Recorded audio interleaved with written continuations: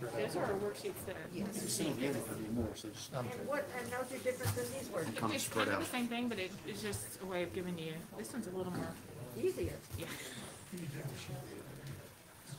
So we have to fill out both or could we use? They're for your this use one? only, yeah, and then when we summarize it at the end, you'll just help me with what you've written down.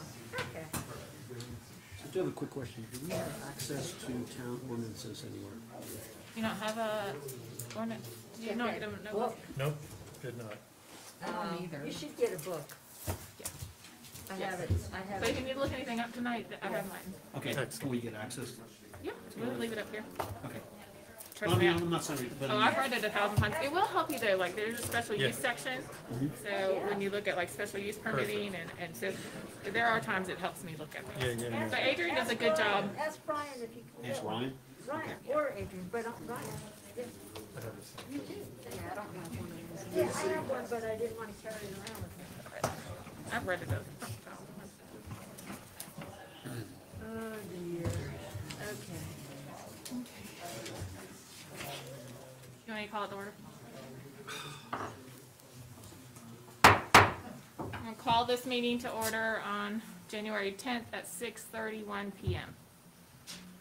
So welcome everybody tonight. This is our first meeting as a planning and zoning adjustment board, so we're gonna ask for your patience tonight. We're gonna be working through, first time together, first time with you guys.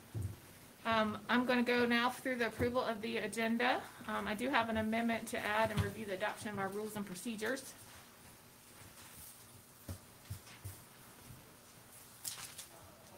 Do I need to take a motion for that? To approve the agenda? Yeah, I'll make a motion. Make a motion to approve the agenda. Yeah, I'll make a motion to approve the agenda. Any second? I'll second it.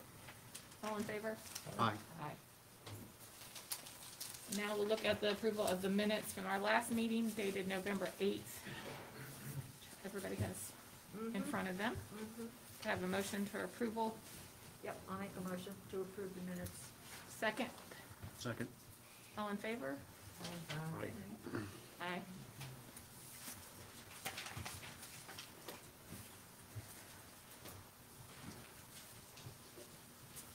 Right, so, um, now I've got some signups for public comment tonight. Um, I need to go through this list and make sure, um, everyone wishing to speak is either here for public comment section or are here to speak on a specific agenda item. So I'm gonna go through this list and you can just let us know what you're here to speak on. Um, I have Richard Varay. Richard, and i- i- was this one of the items on the agenda you're wishing to speak on, or just public comment? Yeah, I just have some basic information about the, uh, buildings that are being built next to my property. That's public comment. Is it, is it about a particular item on the agenda? Uh, what do you mean by, I don't know, Oh, you don't know about the agenda? What's, what property are you located on? uh, Apple Lane. Yeah. It's on the. Let's speak during that one. But we have two Apple Lanes. They're right beside each other. Okay. I can, uh, I can just participate, I'll, I'll ask questions as I go, so. We'll, we'll- we're gonna put you in on the first hearing for Apple Lane on number four, on item three. Philip Cohen? Uh, Mr. Cohen?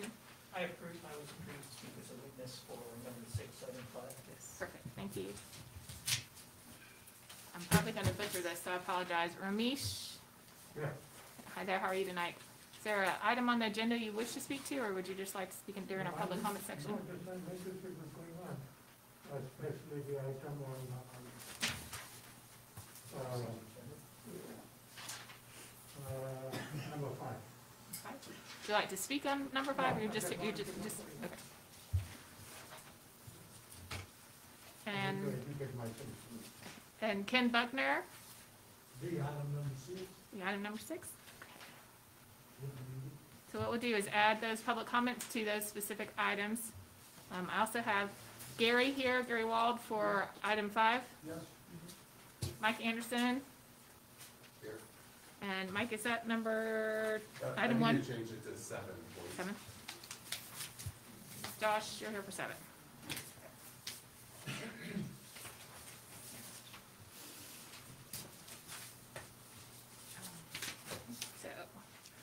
Adrian, do you want me to go through the public comments since I don't have anybody wishing to speak?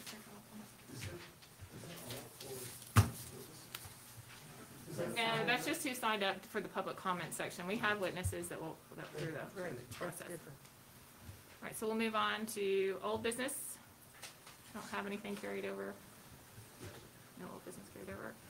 Okay, and then that'll open up for new business tonight. And the first thing on our agenda is election of a vice chairperson. We talk about the rules of procedure first before you do that? Um, I sent you a copy of that in an email a couple weeks ago. I hope you've all had time to look over it. It, it really covers your role as the Board of Adjustment and what you can and can't do with that authority. We had that training at the beginning of this, so you- you're clear on what that means. The, the things I wanted to talk about were uh, the importance of attendance. So, um, the rules of procedure say that you should really be here every meeting, but, um, seventy-five percent of the meetings a year is required, so I just wanted to bring that to your attention. And I wanted to talk about the date and time of the meeting. Um, these rules of procedure say the second Tuesday of the month at six o'clock, at six, I'm sorry, wrong board. Right, right, exactly. The fourth Thursday of the month at six thirty. So if that works for everyone, we'll leave it that way. If you want to discuss that, we can. Do we have to meet again this month? No, So going forward, it'll be the fourth Thursday? Or fourth Thursday at six thirty. Thursday at six thirty? We have to vote? Do we have to vote on the date, or? We'll just have to vote to adopt this document. So I just wanted to make sure you didn't have Okay. Anything, other issues with it. If you don't, we can go ahead and adopt it. So we'll make a motion to, um, adopt the rules of procedures. So moved. All in And I'll favor? second. Oh, All in favor? Aye. Aye. Perfect. Fourth Thursday. Nominations for vice chairperson.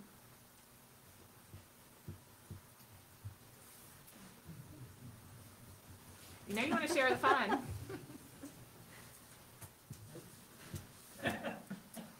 I'll nominate the gentleman on my right. Yes, Patrice seconds. I'll second that. Oh, great. All in favor? Aye. That's me. Very popular, Thank you. that's why. You're welcome. Thank you. Uh, All right, that moves us to the fun part. All right, so, item one. We have the pro, uh, public hearing for variance. The Property is zoned R twenty-one and is located at thirty-one Bent Branch Lane, further identified by Buncombe County parcel identification number nine seven four one two three five two four five. The variance request is for encroachment upon the required thirty-foot front yard setback for construction of a single-family dwelling. We'll now open this evidentiary hearing to hear a request for variance. First, The board must base its decision upon competent, relevant, and substantial evidence in the record. Witnesses must be swear, must swear or affirm to their testimony. I'm gonna Ask for any board conflicts, so the parties to this case are entitled to an impartial board. A board member may not participate in this hearing if he or she has a fixed opinion about the matter, a financial interest in the op- outcome of the matter, a close relationship with an affected person. Does any board member have any partiality to disclose or recuse themselves? Susanna, there's one important thing that we forgot to add to the agenda, and that's the swearing in of all of you. Oh, okay, yeah, perfect. So we're gonna do that before we move any further.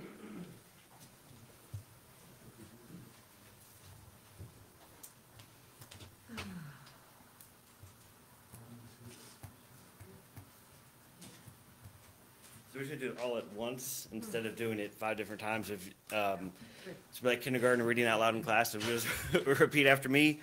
Um, I, in your name, I, Susanna Michael Bennett. Bernard, do solemnly and sincerely swear do solemnly and Sincerely sincerely swear. swear that I will support the Constitution and laws of the United States. that I will support the Constitution and laws of the United States, That I will be faithfully and bear true allegiance.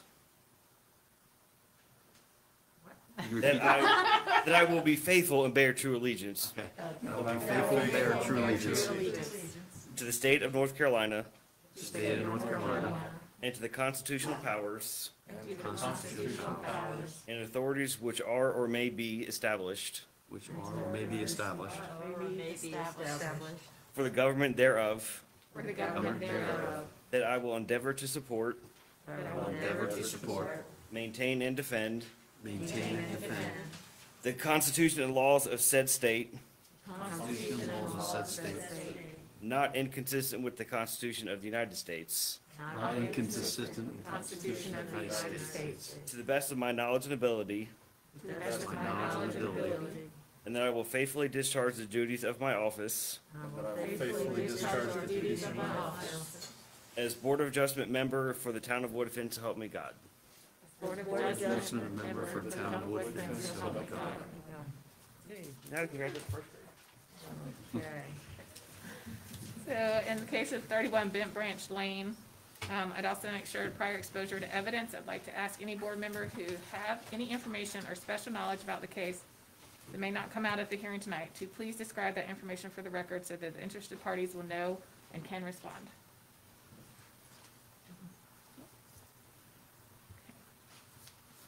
So now we have a standing determination.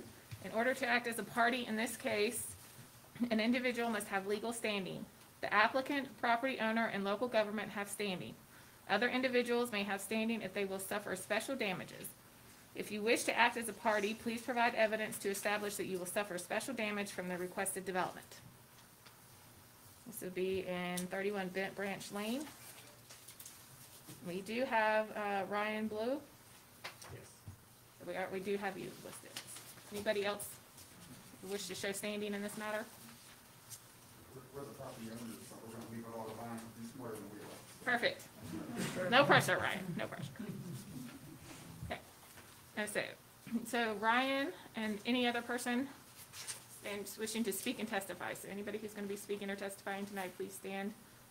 Gonna do some swearing in.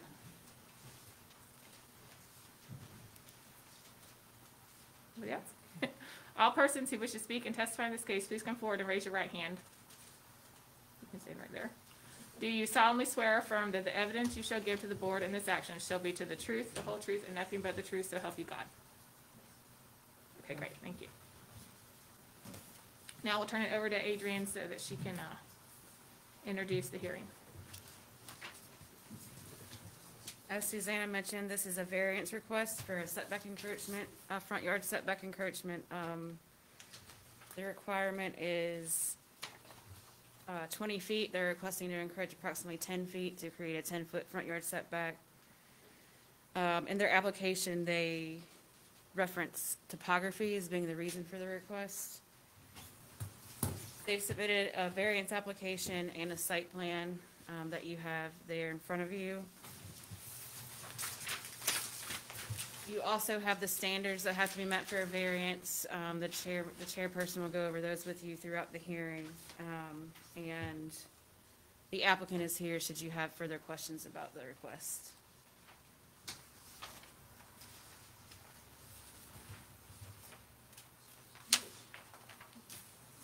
Ryan, would you like to come up and present your?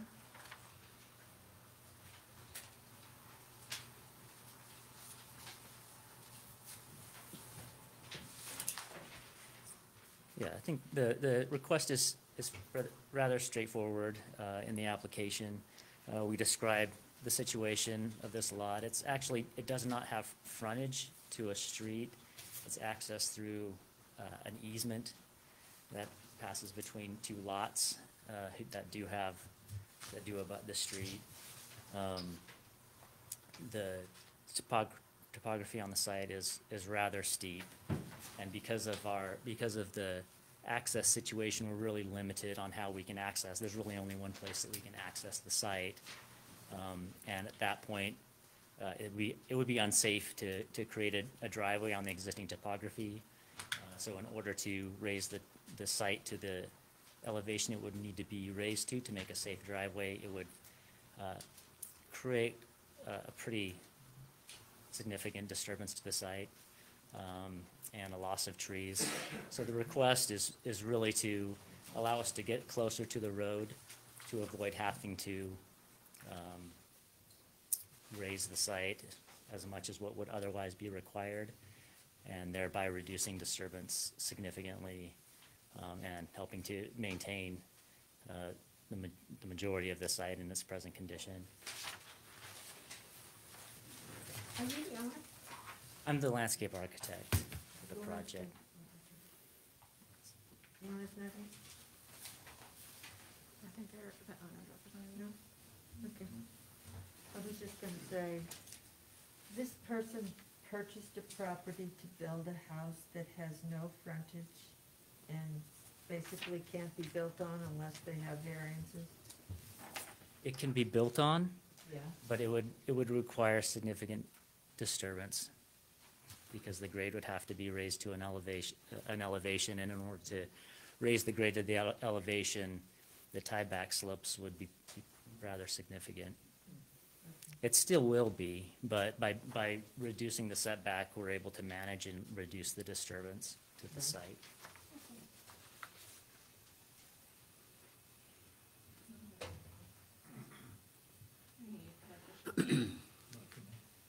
We're gonna take a few minutes and discuss this.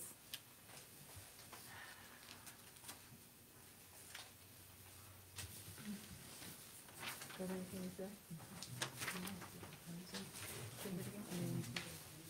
Remember, you have to speak loud enough to be Yeah, no one, recorded. no one is here to oppose it? No. No. No. So, it's, I just think it's absurd.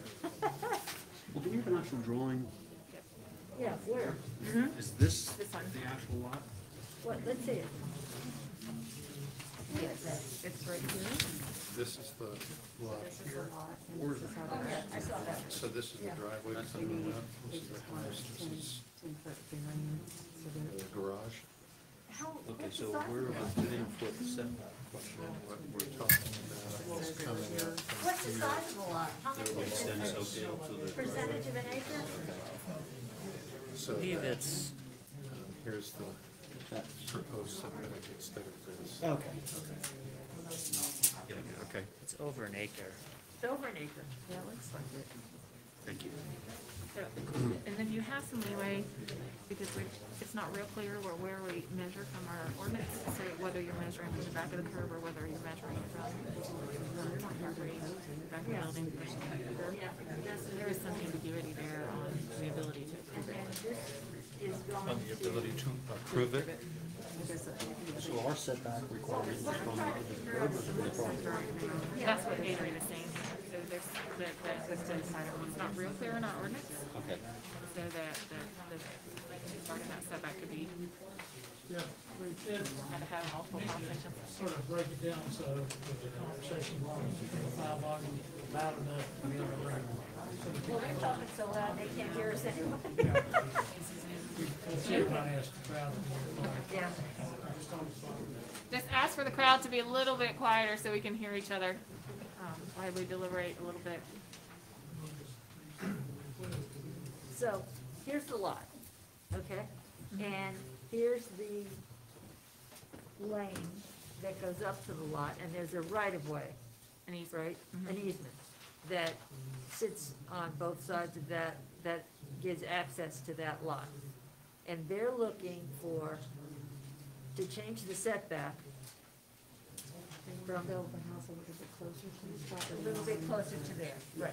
Okay, But they don't hold it. so it's a ten foot, it's a ten foot difference. It looks, yeah, Yeah, I believe that's so. good. Okay, got it?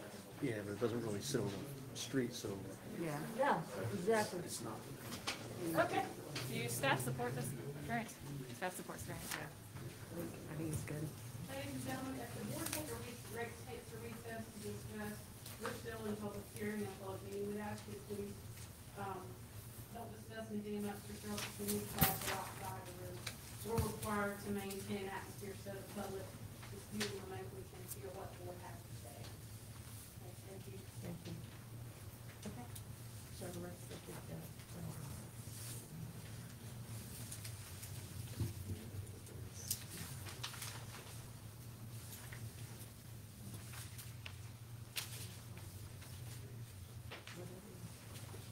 Thirty-one and thirty-three Bent Branch, the same. I- It sounds that way, I think, thirty-one and thirty-three percent,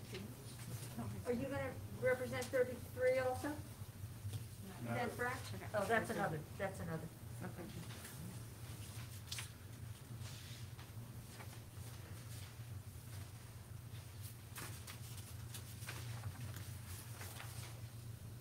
Sure.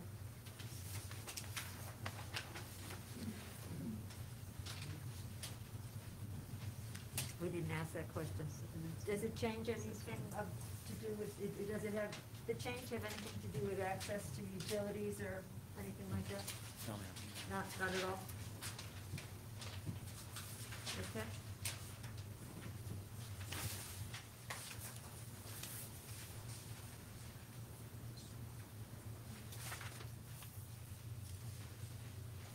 See that everybody's looking at the first item. I want to discuss that. Obviously, if it fails on any point, variance can be granted. Right. So So we should go over every point? We should go over every point? Ma'am, Should we go over every point? well, let's, my, my thought is discuss them one at a time. They Right. can hit a roadblock, there's no need to discuss the ones involved. Gotcha. Okay. Start at the beginning, is that what you're Yeah. saying? So, number one, will necessarily hardship result from strict application of the ordinance? I don't believe so. Well, I think financial hardships would definitely be occurred with the strict application of the ordinance, because you would have to spend twice as much money to break, make the lot Right. buildable. Does the hardship result from conditions that are peculiar to the property such as location, size, or topography? Yes. Is the hardship a result of action taken by the applicant or the property owner? No. Is the requested variance inconsistent with the spirit, purpose, and intent of the ordinance such as public safety and substantial justice is achieved? Yes. Yes.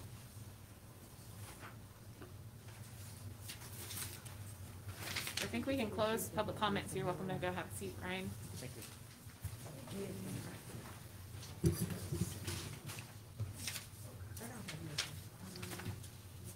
Can I make a motion even though I'm the chair? I'll call for, ask for. Okay, I'm gonna go ahead and ask for a motion. Would anybody like to make a motion? I can move that we approve. So you have to read it. Oh. So like you have to say, um, based on the, look, wait, necessary, Mm. yes and why, and then, can we do the first one? Sure. Okay, can I do the first one wrong? Can I, can I call a motion? I mean, can I make a motion? or- You can, you can ask for motion and word it if you want to. Okay, perfect. I'm gonna ask for motion and word it. So, um, I'm gonna say that we approve it based on, um, the necessary hardship would be resulted in a financial hardship based on the strict application of the ordinance. The hardship results from a condition, condition that's peculiar to the property, um, based on topography.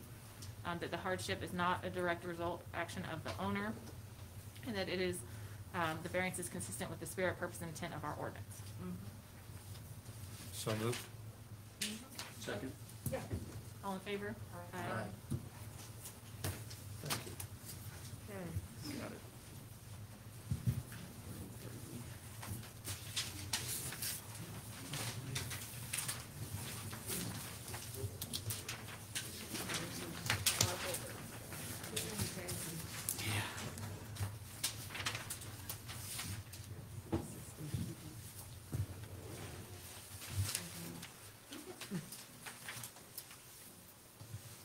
All right, so that'll take us down to item number two.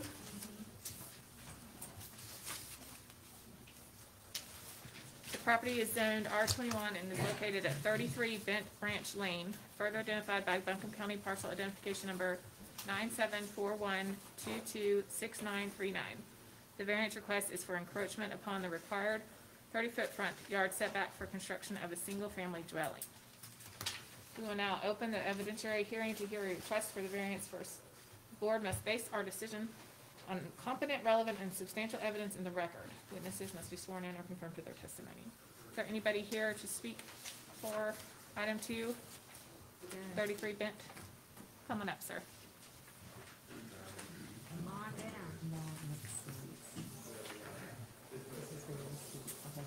Hi there, can you state your name and address, please? It's uh, Michael Barton, fifteen oh two Timber Drive, uh, two eight eight oh four.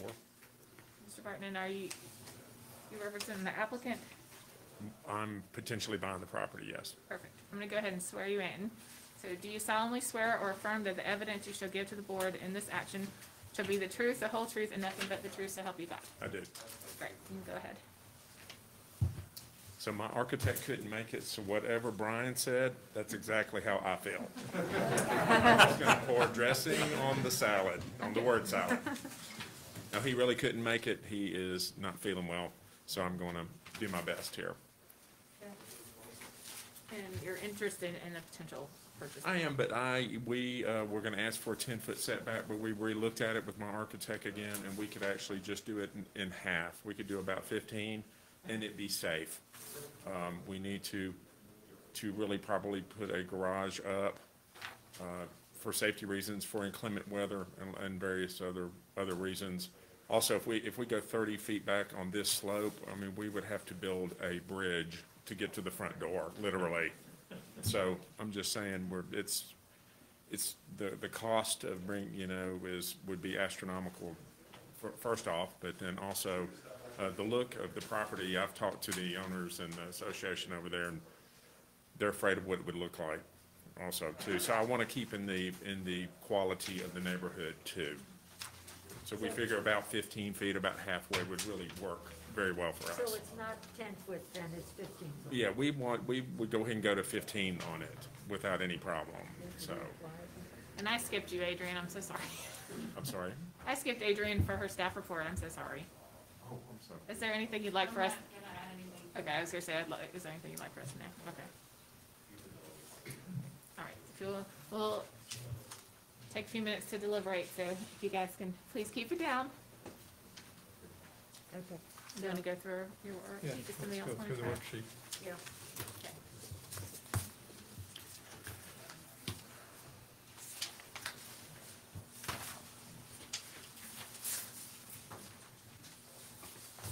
So I have a question, he's requesting in this application a ten foot, but should that be Should that corrected to fifteen? How do we change that? I mean, that has to be changed before. Did we change everything, or did I leave part, something out? Uh, It should say fifteen. Oh, okay. Um, is the application, that says fifteen. Yeah. Once you get into this. Okay. That's good. So then we should be okay. Okay, yep. Thirty to fifteen.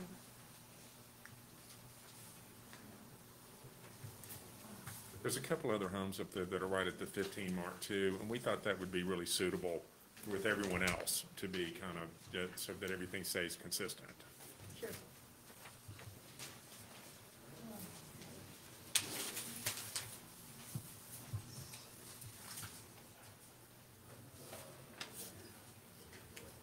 So should we fill out one of these things? You can. Mhm.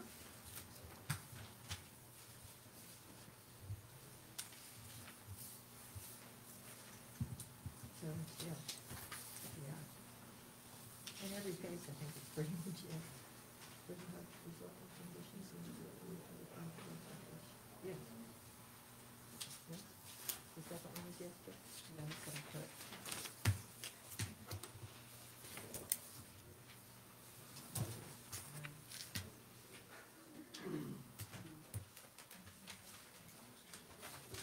Fix it with the spirit. Yes.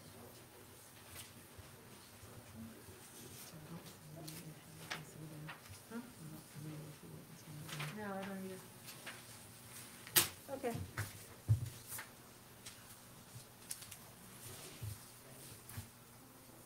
So since most of the properties on this road have done the same thing,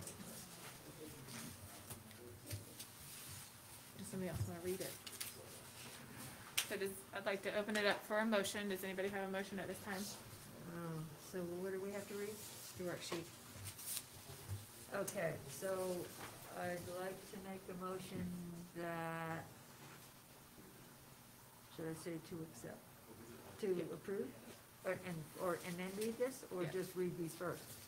So your motion to approve is based on? Yeah, okay, I'd like a motion, uh, make a motion to approve based on the fact that, that the unnecessary hardship results from the strict application of the ordinance, that the hardship results from conditions that are peculiar to the property such as location, topography, that the hardship results uh, actions taken, it, it, it hardship does not result from actions taken by the property owner. And, uh, the variance is consistent with the spirit, purpose, and intent of the ordinance, and the public safety is secured and substantial justice is achieved. I second that. Second, okay? All in favor? Aye. Aye. Okay, Thank you. welcome.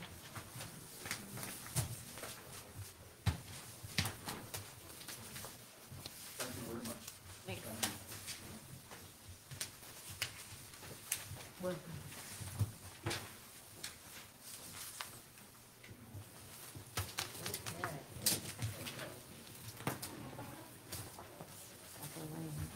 So Ron, I do have a, a s- person who filled out the standing on, so, where do they fit in this? If you have somebody who wants to testify this and call witnesses, they have to come up and show to you they have standing. Okay. And I think you can legally describe what what they've got to prove when they come up on the record.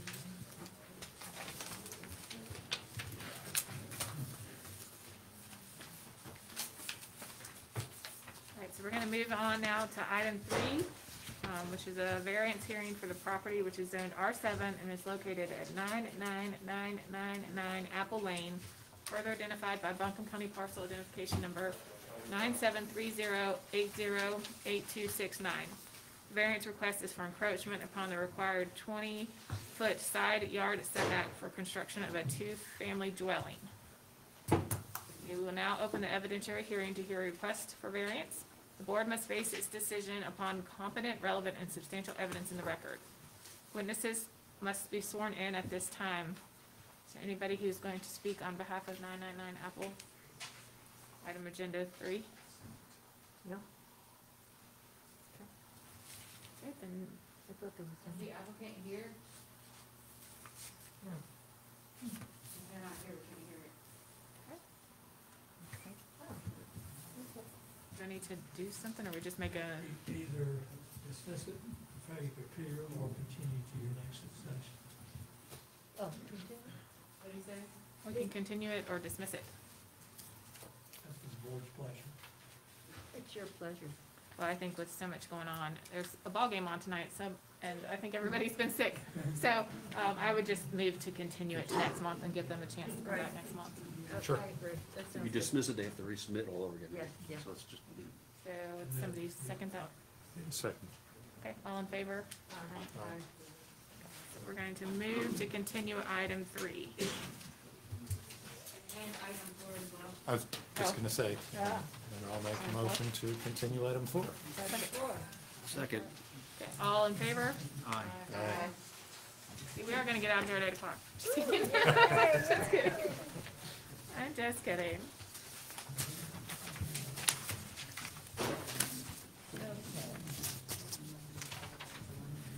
Oh, it's the, it's the Alabama. Alabama and Georgia. Alabama, Georgia. I used to live in down. Football is big, big, big down here.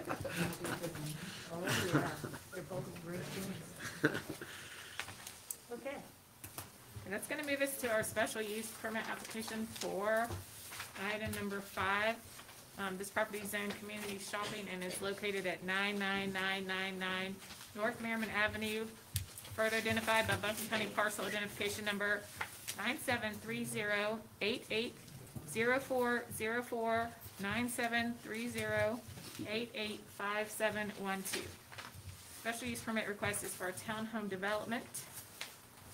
Um, we will now open the evidentiary hearing to hear a request for the variance, or I'm sorry, for the special use permit. You wanna find out? I have a long list. Okay.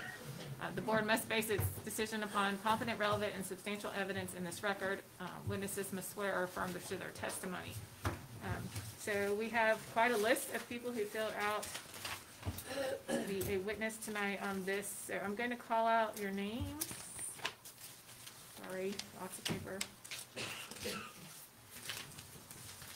Just so we can get everybody sworn in.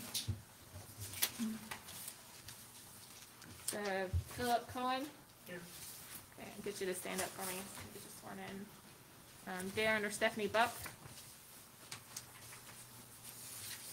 Linda Dever.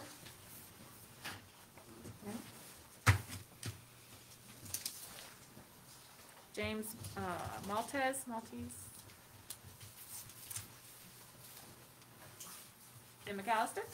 All right. Uh, Wilson Sims Jr. Stand for me. Gary Wald. Anybody else that's going to be presenting or testifying on this subject matter tonight, please stand up. Let's swear everybody in.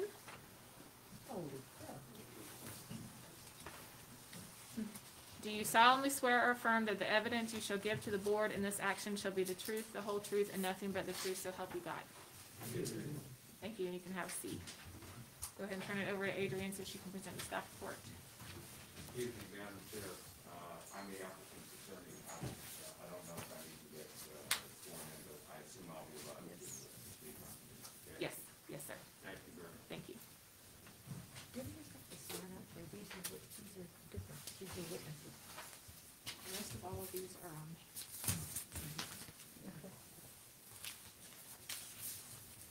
Um, this is a special use permit request for, um, a townhome development. It's the develop, it's the developer for the terraces at Reynolds Mountain directly adjacent to this parcel. Um, same, same concept. The special use request is for a group development.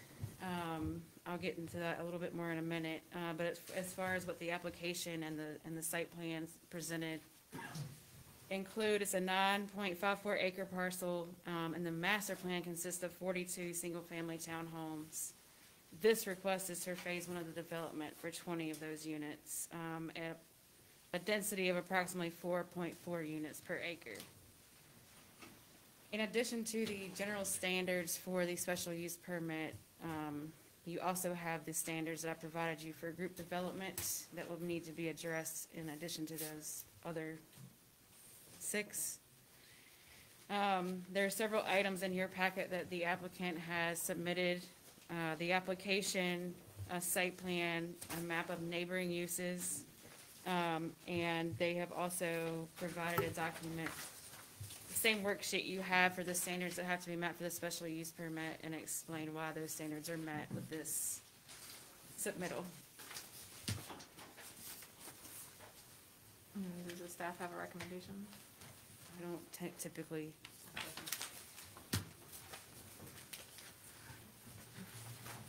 All right, so who's representing the developer? Mm. And start your presentation.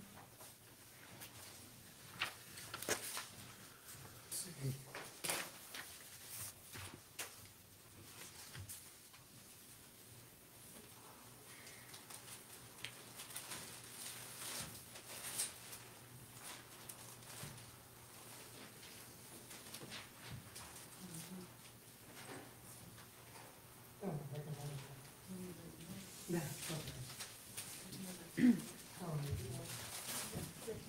Oh, Okay. Excuse me.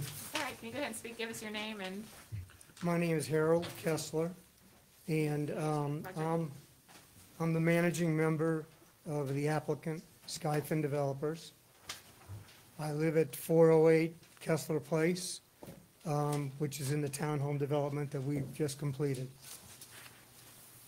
Uh, If I make any, any further, if I can continue, okay? Um, The,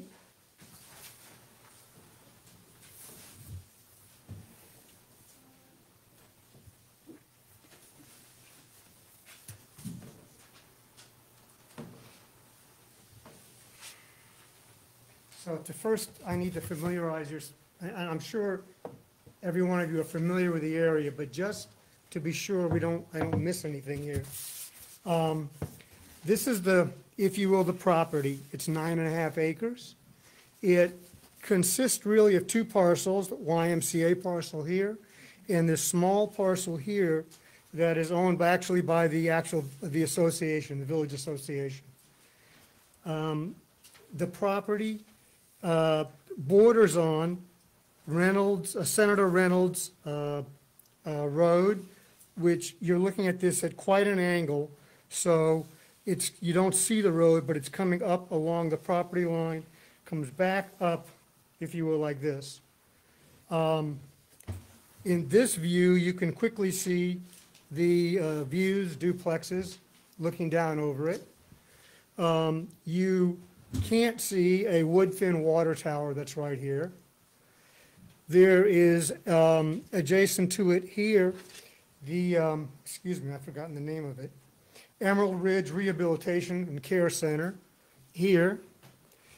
This is all um, commercially zoned. This is uh, the three or four-story apartments in the village. And this is the uh, senior living or assisted living uh, facility that's there now. So from a location standpoint,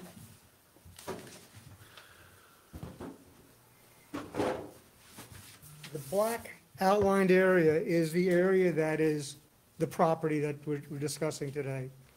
Surrounding it, all, on all but one side, is, and inclusive of this parcel, it's zone CS, commercial, or community shopping. I guess, is it commercial or community shopping? CS, community shopping. Um, Which allows for a, a very broad set of uses, um, uh, uh, be it warehouses, hotels, um, auto repair, a- a great deal, a- a- a lot of commercial uses, none of which are the subject of today's discussion. Other than, I, I, I just, you should understand, that's what, um, uh, that's what it's zoned for, and more importantly, what surrounds it are all those commercial uses um, that I've described.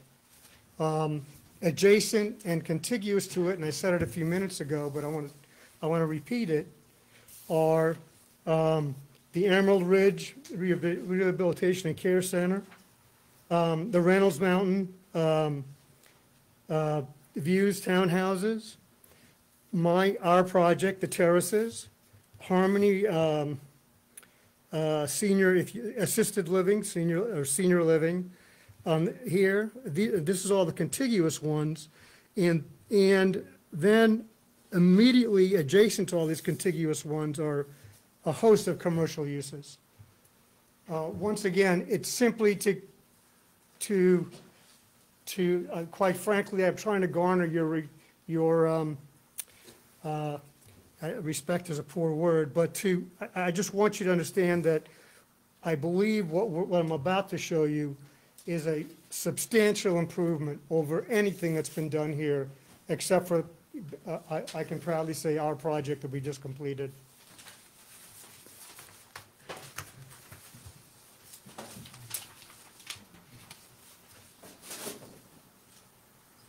Project, incidentally, our design team consists of, and most of the members are here tonight, Ace Engineering, they're licensed civil engineers in the North Carolina, state of North Carolina. Um, Site Design Studio, licensed uh, planning and landscape architects, North Carolina. Form and Function Architecture, licensed architects, North Carolina. Um, Right Side Development, uh, Design and Construction Consultants, and licensed uh, PEs, North Carolina. And the reason I bring this up, what's most important is the whole team, but for me, I'm a halfback, um, uh, are locals, and they've resided in the Asheville area for many years.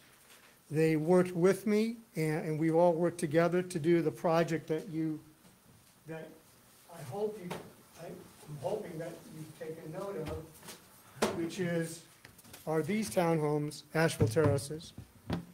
Um, I believe that they've been well-received. I've been told they're well-received within the community, within uh, uh, both people up on the mountain and uh, uh, the village, and I haven't heard uh, anything negative at this point. We are very, very happy and proud of this development. The architecture for what, that we're about to do, use is similar. It's not going to be exactly like this, but it will be mountain modern.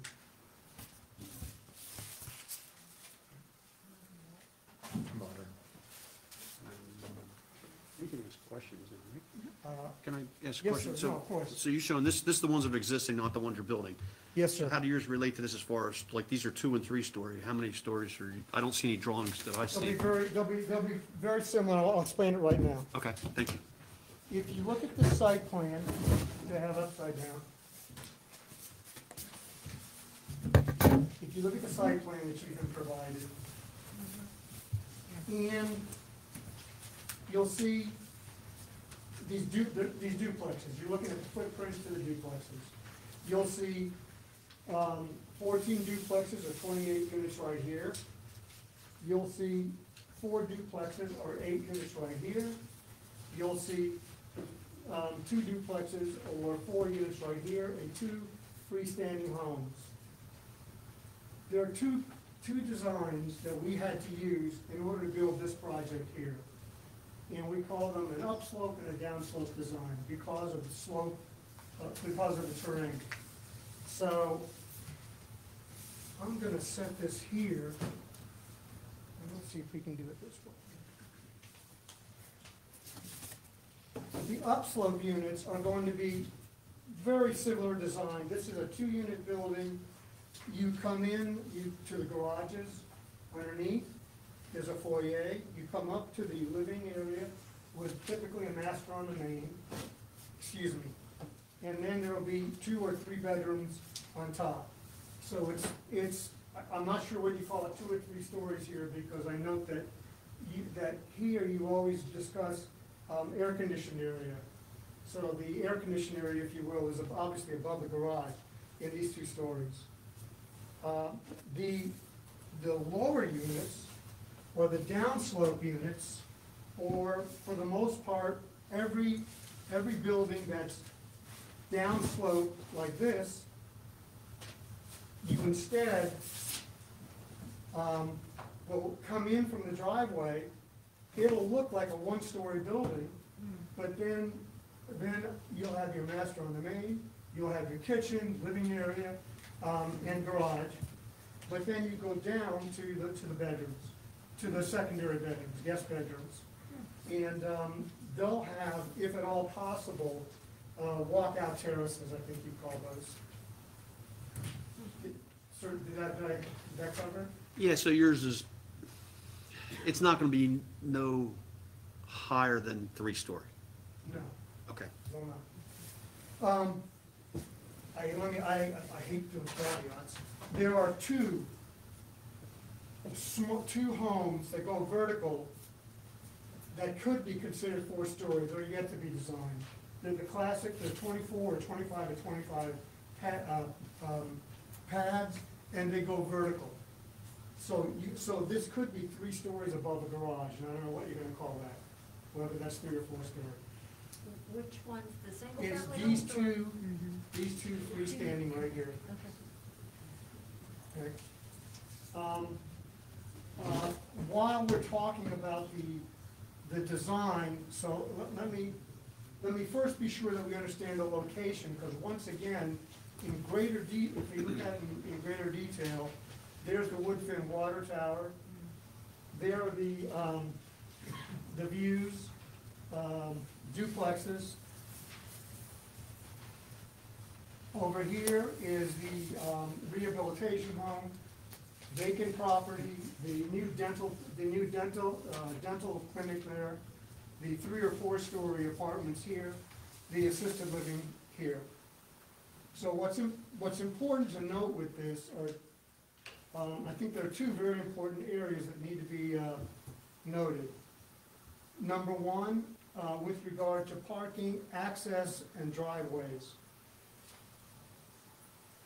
Only these units and these units are serviced by Reynolds, Reynolds Mountain Road. So you have, the two freestanding homes have a shared drive on Reynolds Mountain Road. These, um, four units, uh, are, have a single access to Reynolds Mountain Road, and these eight units have single access.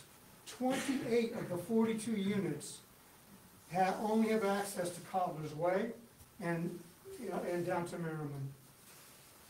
The re, that inherent Um, this, what's inherent in that design is taking a tremendous amount of potential pressure off of Reynolds Mountain Road and off of the traffic that's going up to a much more of a single-family atmosphere, single-family, uh, area up here. Um, I'm not gonna tell you that I'm smart, it's my team that figured this out, but I am very proud of the design.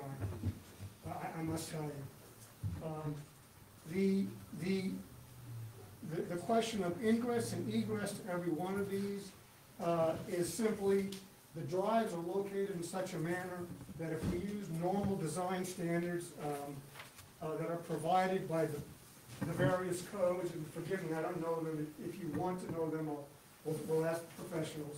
But the point is, you're gonna have appropriate view corridors coming out, you have appropriate stacking, because those are, those are twenty-eight units, we have followed this here, it's stacked in queue. We never get involved with the public road for stacking or queuing. The same here, because these are, the design is bifurcated, we have small group here, small group here, a small group here. There's no opportunity for queuing or stacking on public roads. So there's only one road for ingress and egress for those twenty-eight? Yes, ma'am. Yes. Um, Now, is there emergency access through the other end for emergency vehicles at all? No, this is, my design team explains, this is allowable under current code inclusive of fire. There has to be a, I think they call it a hammer turn or a, a, a, a- a way of, of the, uh, equipment turning around. We have that here. Okay. And that's a two-lane road? Yes, ma'am. Um, with regard to, to parking, uh, there is no off-site parking. All of the parking is self-contained in front of every home. Um, you have a drive area that can hold a couple of cars, you have a two-car garage that, or possibly one and a half, it could get a little skinny down here. But you'll have, there's plenty of parking for every unit. And so circling back to the original question of, um, uh, of what will they look like or how will they function, they'll function very similar to this. But the difference is, this was a pretty tight, this is a pretty dense construction, to be honest with you. It had to be done because of the site. In this particular case, we're only gonna have four point four units per acre. In this particular case, these footprints represent about, uh, forgive me, I don't know if it's eleven or ten.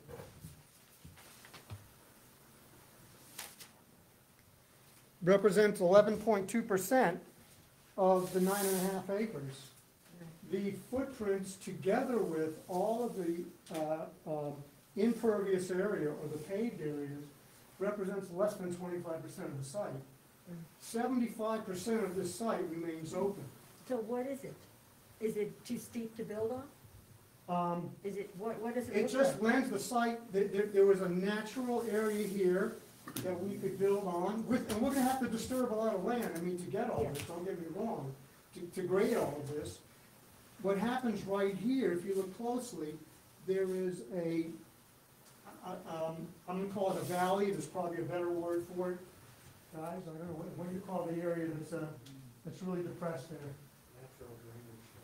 Natural drainage. Okay? Okay, and, and you really can't do anything here, it should, needs to be preserved. So we, it, it, it actually goes underneath.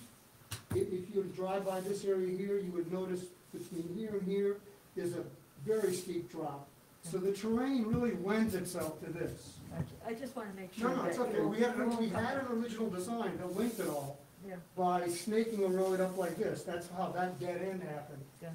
But it, in the end, it wasn't worth all of the da- brain damage, excuse my language, of doing all of this, only to link forty-two units to dump onto this road. I, we just didn't, I just didn't think it was Sure, necessary. I just wanna make sure that you don't come back to us or somewhere and say, oh, by the way, we have all this land left and we wanna fill it in with more. So what'll happen is, when developed, these will all fall under HOAs to be formed.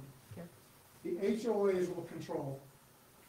The HOAs will control, it's a very important question. The HOAs will control the amount of parking, they're gonna control the maintenance of, of, of the outside. They will disallow, uh, uh, any, uh, uh, any potential uh, development or disturbance uh, of this once, once it's resettled and after we develop it. Um, The uh, HOAs will control garbage, will control, I, I know I'm telling you things you already know, but I just need, to I just can't overemphasize that there are um, proper controls in place throughout.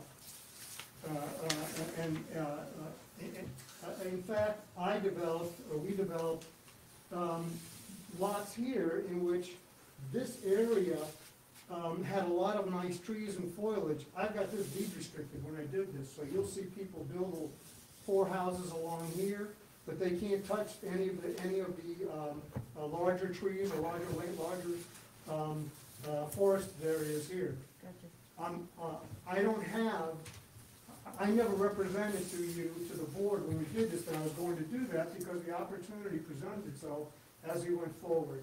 As I go forward with this project, opportunities will present themselves where I'll be able to preserve things like this. I just can't outline it now because we haven't gone that far with it. Okay, But you're not gonna subdivide it in No, no, and it can't be done. Well, your, I your, mean, it can't, once the HOAs are there, it can't be done. your application says that this is phase one and twenty units of forty-two units. Yeah, it's forty-two units, there, there, there are twenty, I, I, I heard that, and I think it's just semantic. I think what she was trying to explain was there's a, there are, um, uh, twenty-two, what, uh, uh, twenty, yeah, there are twenty duplexes, so that's a total of forty units, plus two single homes, single-family homes. So you're not planning on coming back for phase two then? No, Oh, okay, that's where I misunderstood. Okay, I see No, no, phase one, that's what I'm asking. Okay. no, That kind of, like you're asking, I don't want to see him come back and build it. okay, no, this is Okay, it. that's it, okay. Okay, This is it, this is, I hope, one-stop shopping, and from here, we're just gonna go get this done, over a period of four to six years. Um, Anything, what else I can tell you off of this? Um, we've explained ingress and egress, I've explained, uh, parking and all of that, I think, um, i- if someone doesn't have a further question on this, I'm gonna move on to the water, sewer, and, uh, and drainage.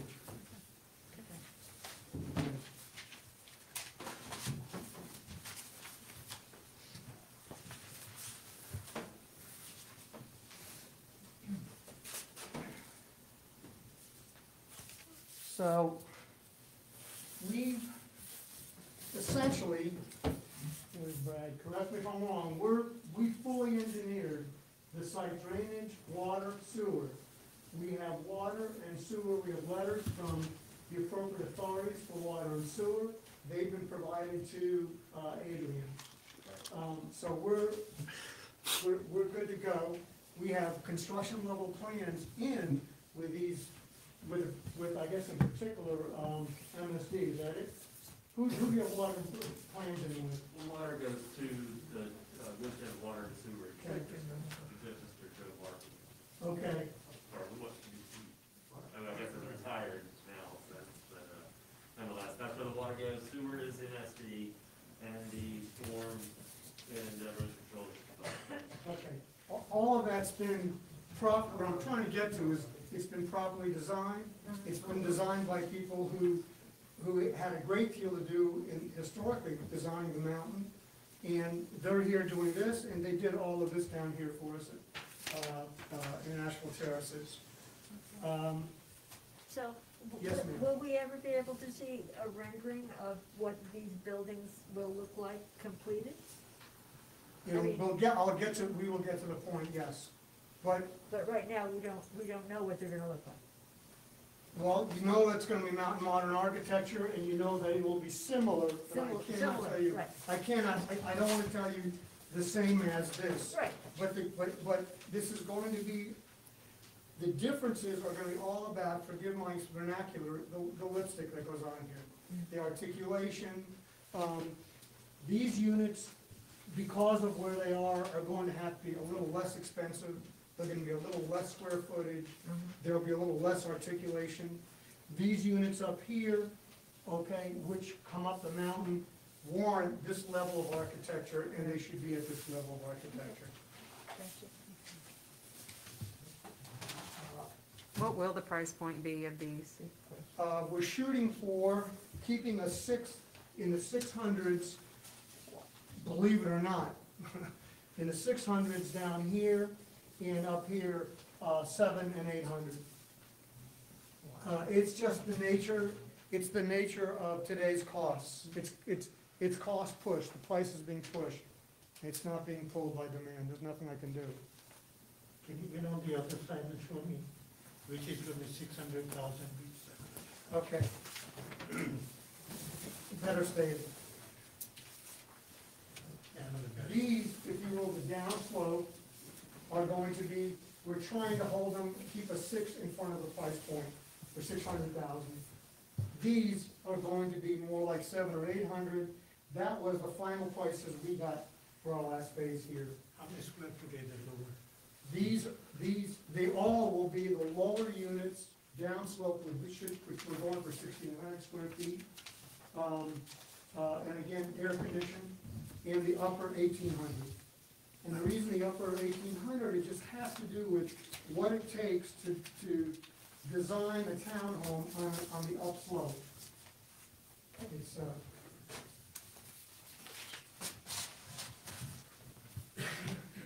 give me a moment, I want to make sure I didn't miss any of the things I'm supposed to bring up. I've been tutored. and-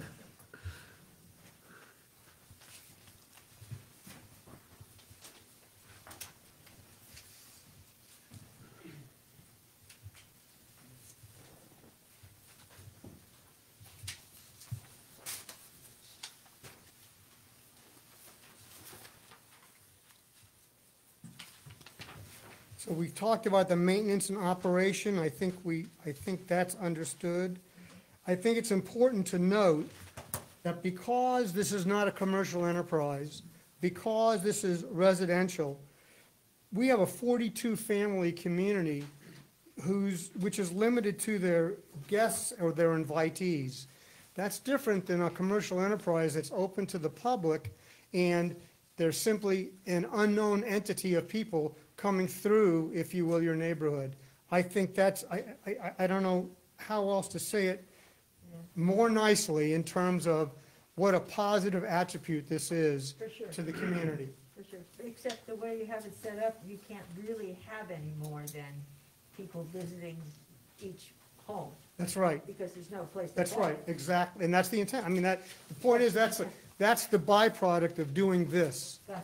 And it's a very, very good byproduct, I think, for both the commu, for the community, for uh, all parties involved, and it's a great byproduct for uh, the, um, um, for the village, because they now have 42 more families to go down and use their facilities. And we've added 30-plus so far already. I think we've gone a long ways and are going a long ways towards helping the village and making it a a more vibrant, something more vibrant than it, than it has been. Board have any questions? Uh, The, I, I do want to point out, and I know it, it's, it should be obvious, but I, I really want to point out this concept of seventy-five percent of this project will be open area. In contrast to any development that is done at a commercial level, it's, it is seventy percent all hardscape and less than thirty percent open area. That's, that's a dramatic difference. And that's what you're, if you're allowing us to do this, that's what it gets everybody.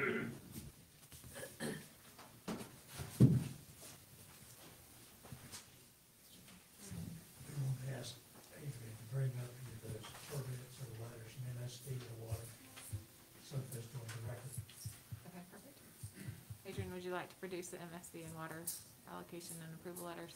I don't have it with me at the moment, I can, I'll have to go check the file. Review that. You need physical copies? I'll look. I, I- it should, it, I, I don't know your package. I didn't see your package. It might have been with, I know it was with what I submitted. I just don't know if it's in the package. Or no, I mean, it would be, it- you would consider that probably backup or something. I don't, I don't know. I didn't, I don't recall getting it, um, So we're just going on his. the answer is I know it's from- it's submitted. It's in the email. I can pull up the email. It's clearly submitted. Okay? Um, That could be a condition, correct? Yes, it can definitely be a. We should definitely make it a condition. pardon me, sir? We read it, we're gonna have to read all the other conditions. Okay. I mean, he's giving us his word, not that doubt but Cause you to miss critical funding. if they If you'll get, give me a moment, I may just have those copied. it's kind of a problem. Um, We're good. See, well, while I'm fumbling here, is there any more questions so I don't waste everyone's time? Ron, can we make that a condition if you can find Excuse me, for the benefit of those who couldn't hear you, what document are you asking him to produce? it? For, for record, well, for his water and sewer approval letters. We can make it a condition of the approval too if we need to. Okay, if you'll do that, that'd be fine. I'll, you'll have it by tomorrow morning. Um, or if you give me an email, I'll get it out tonight. Uh, Again, just give me a moment to, You have letters that you applied for these permits, or you have letters that no, said we you have already letters approved? from them saying we have sufficient water and sewer to do that project on that site plan. Brad, I'm sorry, go. It's a, MSD requires you to do a sewer allocation, which is a, kind of an upfront design, so they can just determine if they, their lines have the capacity. And that's what we've received the approval for at this point for MSD. And now we go, that's a, kind of a first step with your sewer design. Then you work out the intricacies of the actual design, the inverts and all this stuff, the top elevations of manholes. And That's what we're working through now, to get like a full, an actual permit to construct. Um, I think this board, you will just need a record that they have found that you do have capacity. And the same goes with the water. Correct. It's just a letter that comes from within sewer water district, uh, that says, you know, we do have the capacity to provide for these users. And just to clarify what I said earlier, the water design goes to Woodfin, which they help us kind of understand what needs to be designed, mm-hmm. and how mm-hmm. it be designed, and then it goes further, it goes to Raleigh. You know, this board doesn't need construction documents or design documents. It's, I think But we it's have- required to show capacity, you have evidence of capacity. I have the document from Woodfin Water, but I do not have the document from MSD. Okay, I have it right here, this is from the, uh, uh, the super saying it's uh, conditionally, conditionally approved based, uh, you can email it to you, uh, yourself if you want. But that- I think that's what you look Oh, I'm very proud of you. To do that, and I, and I was inept. I see young guys now. Um, I, uh, from my viewpoint, I think the, and I hope I've convinced you of the same, um, this design and the subsequent, subsequent construction, it's gonna meet and exceed, or exceed all applicable regulations with special consideration to the, to the Reynolds Mountain community. Um, I've repeatedly stated all the conditions, uh, uh, that we are aware of have been responded to thus far. And it's, it's our intent, my intent, to create a residential community um, that's harmonious with the community, harmonious with what we've done, um, what there is currently, and to honor its integrity and to bring additional value to the community. And I'm gonna stand back. Uh, uh, Is there, I I don't know what the procedure is from here. Um, can you tell me your design architect again? I'm sorry. Design architect is um, uh, Form and Function Architecture, Miles Alexander. Uh,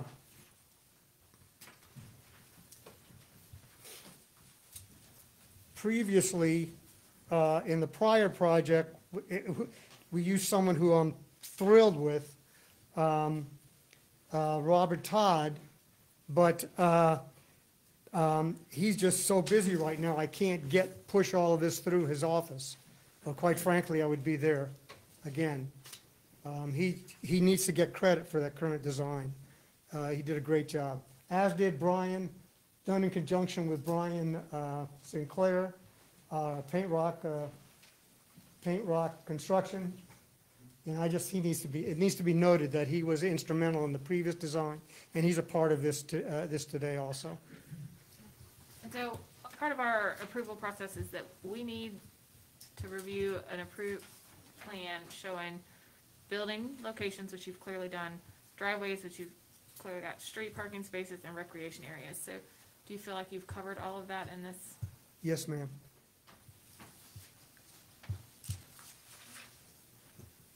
Are there dedicated recreation areas? No, intentionally.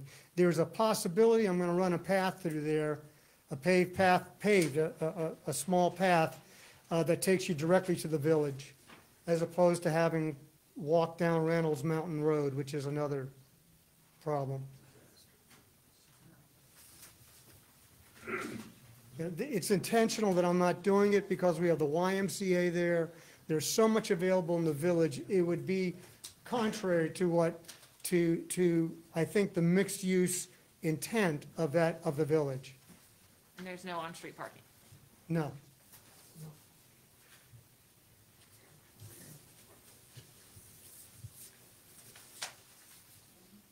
Is there anything else you'd like for us to consider? Um, no, no, I just want to be sure that you have, uh, you know, you have everything you need. I'm gonna step away. I think there are people that want to comment, and I. Yes. So I do have, to before you leave, one more question. So you Yes, mentioned sir. on-street parking. So the, the residents are gonna have their own garage. Yes, Are there designated parking areas for their guests? there will be, yes. Okay, I didn't, I missed that, okay. Okay, that's good, thank you. Oh, okay, yep.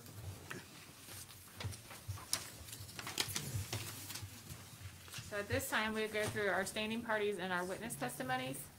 I'm just gonna call up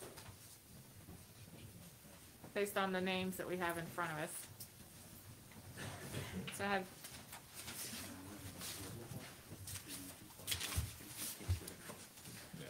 uh, Gary Cohen. Would you like to come up here? Philip Gary, Philip Gary Cohen. Hi, I'm Phil Cohen. I'm the uh, treasurer for the Reynolds Mountain uh, Property Owners Association, and I want to thank you for allowing me to offer comments about this project. I want to make clear at the outset that I'm not opposed to the project if done well, but the package of materials I reviewed suggests five issues, five, that should be explored prior to approval of this variance request. One, the two property lots are partly on steep slopes. Now, I realize Woodfin currently does not have a steep slope ordinance, but erosion, stormwater, and natural springs are a major issue, are major issues on Reynolds Mountain, es- especially in the views, which sits above the proposed site. And of course, storms are increasing in intensity, duration, and frequency. Prior to approval, a study using possibly a civil engineer, a geologist, a hydrogeologist is needed to assess the stability of the site and what is needed to minimize erosion, including a good stormwater management system. And I understand from the previous presentation that some of that may have already been done, but I think it is critical that that be in place. Um, I think you'd also want to see a good system for minimizing tree removal and clear cutting so as to minimize erosion.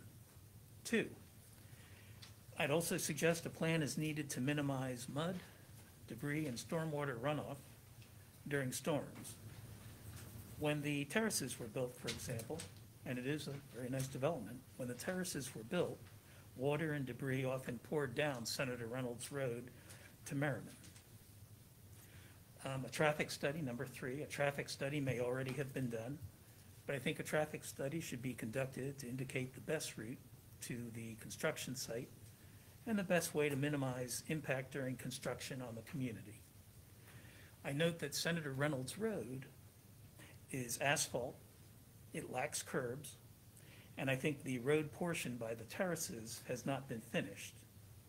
Construction trucks going up and down the road with sharp curves, and we all know what Senator Reynolds Road is like. Construction trucks going up and down that road will significantly impact traffic and the roads themselves. Possibly Woodfin should require a significant financial deposit or commitment to repair roads in a timely fashion after construction. Four, I think the proposal could include a provision for making Senator Reynolds Road safer for pedestrians and the dogs that walk up and down from the terraces and the terraces extension. I think this is already a public safety issue on the curved road that goes up Senator Reynolds.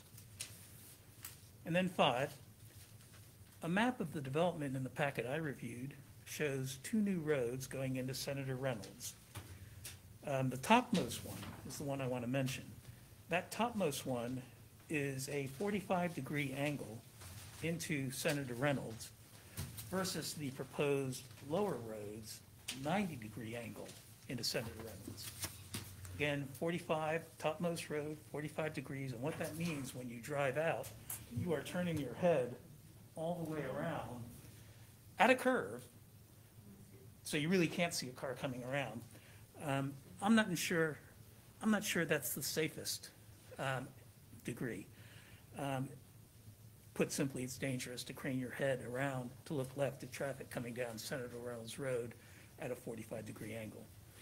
Um, In sum, a delay in approval would allow time to study traffic and the site with an eye towards creating serious plans for managing erosion, stormwater, and traffic. Thank you. Thank you. Thank you.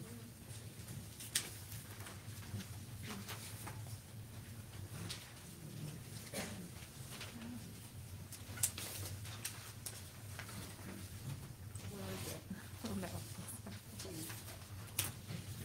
Just had it. Keeper.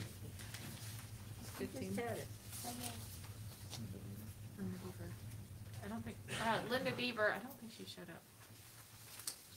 Deaver, um, and I don't think James Maltese is here either. That would be Jim McAllister.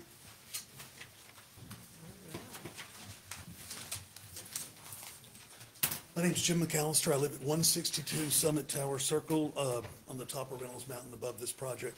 But before anything else, I want to say congratulations and thank you. Uh, I served for a little while on the adjustment board.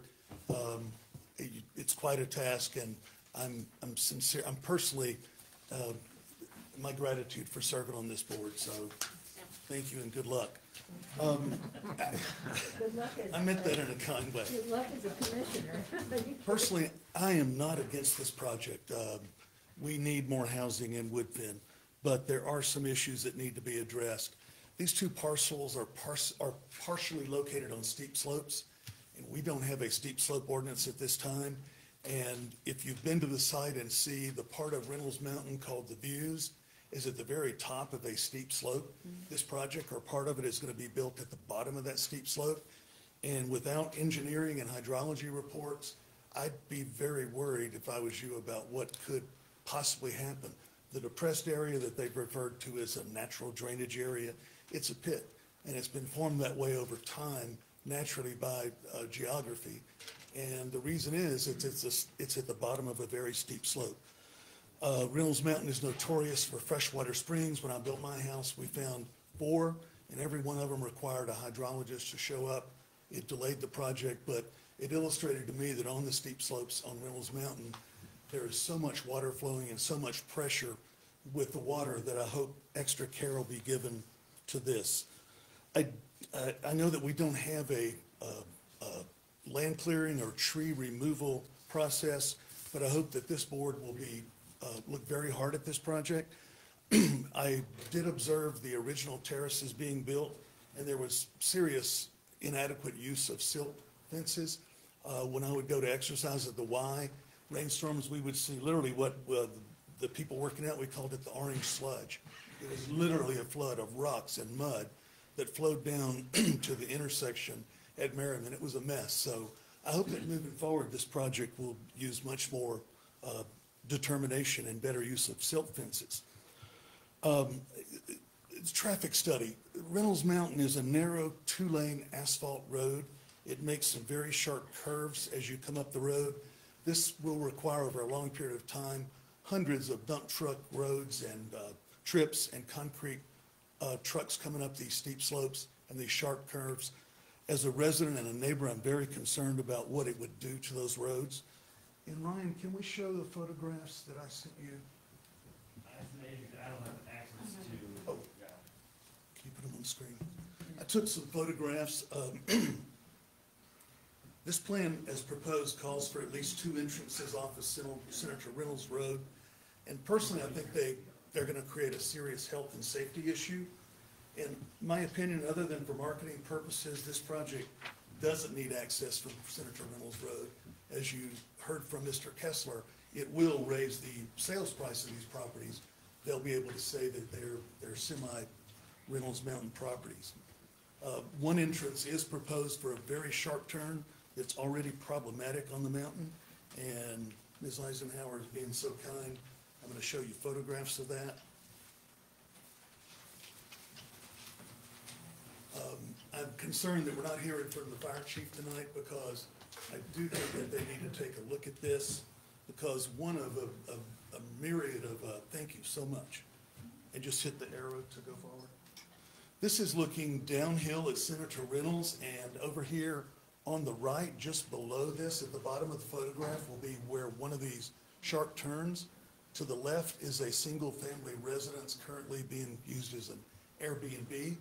And I'll, so you'll see that coming down the mountain, you'll have to be, residents will have to be very careful to watch for construction vehicles and residences coming out there. This is looking up the mountain at the other side of the street. This will someday be completely developed. So there's gonna be even more residences, more traffic on this narrow road. This is looking downhill up, and as best I can tell from the map, they were, they were very vague. They were hard to look at because they were so small. Right there on this curve to the left will be what I think is the scariest entrance from Senator Reynolds Road. And I can't imagine what would happen as a resident. I'm very worried that a concrete truck getting stuck, a backup of pickup trucks for workers parked along the road, it's very, it takes the whole road to get a fire engine up Senator Reynolds Road now. So I don't think that there's any good reason to require entrances off of Senator Reynolds. I really wish that the developer would have all access from cobblers or something down that way. And this again shows the downhill slope. This will, their development will be to the right, and again to the left, there will be even more development coming down the road.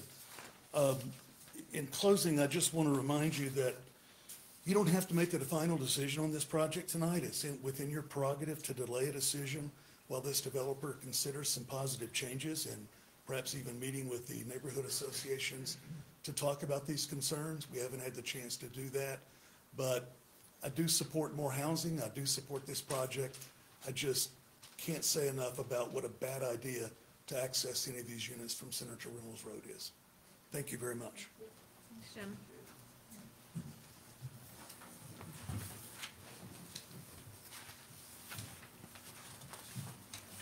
We do have a letter from Darren and Stephanie Buck who aren't here, but you can read it. in front of her. You are able to read and consider this.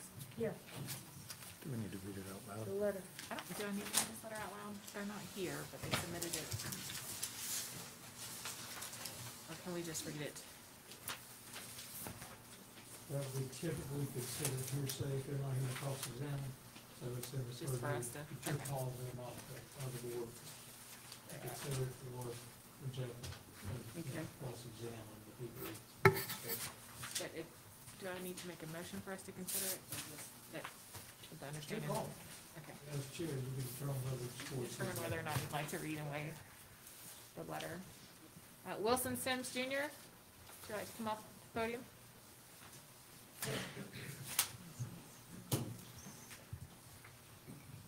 Please state your name and address.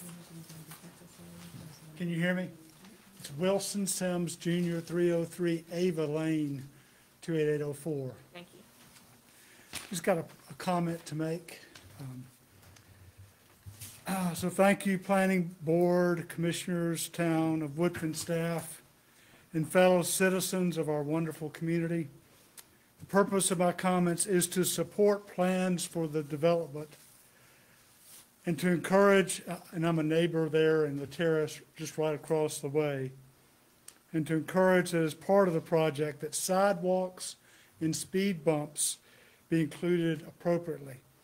Everyday citizens from the terrace and up on Reynolds Mountain traverse Senator Reynolds Road in order to get to the YMCA restaurants, to take exercise, A point in case, my 90-year-old neighbor, Mrs. Kim, and her daughter walk this road, walk in, in this, in this road every day because there is no sidewalk. The, uh, the elderly, like Mrs. Kim, children and pets, and all, all walk in the roadway, up and down to achieve their destination. There is a safety issue right in front of us, and we've all gotten so accustomed over the years to walking in the roadway that we're blind, we're blind to the significant safety issue.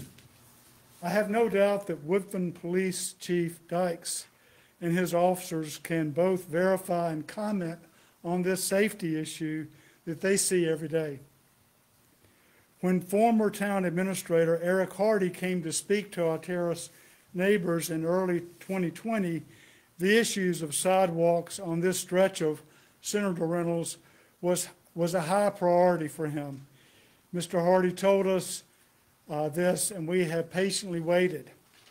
To underscore this issue, 301 Ava Lane Terrace resident Larry Hopkins has spoken to commissioners at meetings as recently as 18 months ago uh, uh, on, regarding this stretch of Senator Reynolds receiving speed bumps. And we were given assurances by commissioners that there was a process underway to get this done. And we we patiently waited. In summary tonight, we have an opportunity to support this terrific new Woodfin development. Uh, and we have an opportunity while conducting this construction to build proper sidewalks and place proper speed bumps, which should have been done years ago, to correct an omission. And third, we have an opportunity to change Senator Reynolds Road from a dangerous and unsafe daily, daily situation to an example of how the town, developers, businesses, and citizen partners partner uh, and best practices uh, to accommodate best practices in community building. We love Woodfin and what's going on. Let's get this done. Thank you. Thank you.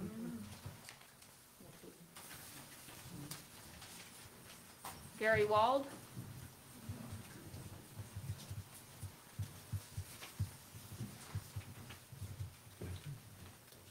Mr. Wald, if you'll just give us your name and address for the record.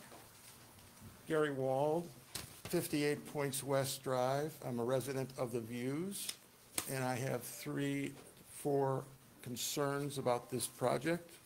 They have to do with concern about slope stability, concerns about stormwater flow, concerns about traffic congestion, and the verticalness of the site and how much of the construction is actually being put. I think, ma'am, you raised the question, is the slope too vertical to build? And yes, I'd like to ask the, the question of how, what is the elevation gain from bottom to top? And how much of this is really being concentrated? He said, mentioned nine acres, but it's really how much is being concentrated in a small portion of the, of the parcel. The bigger concern, however, is slope stability. And you may or may not know that North Carolina Bureau of Land Management has mapped all of Reynolds Mountain, and the street right above the views, which is South Point Drive, has been identified as a high-risk area for mudslide and landslide anytime there is five inches or more of rain in a 24-hour day period. That is noted in their maps, both sides of South Point Drive, which is the street right above the views.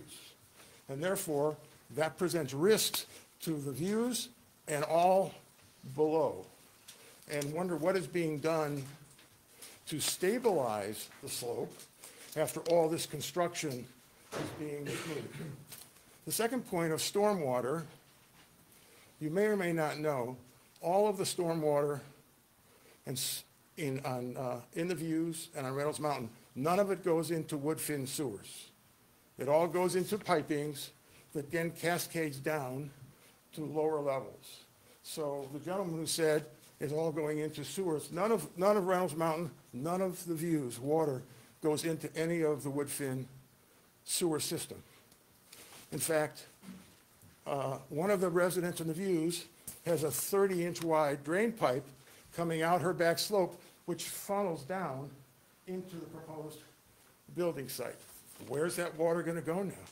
As we take trees away, as we take greenery away, which absorbs some of that water, where's it going to go? What's the plan to have all this water now, which is going to further erode the mountain and really destabilize the mountain? We've already heard mention about traffic. You know, if I think about 42 units, 42 units will have probably 70, 80 cars in and out of there every day. And how are 70, 80 cars going to get out on Senator Reynolds Road?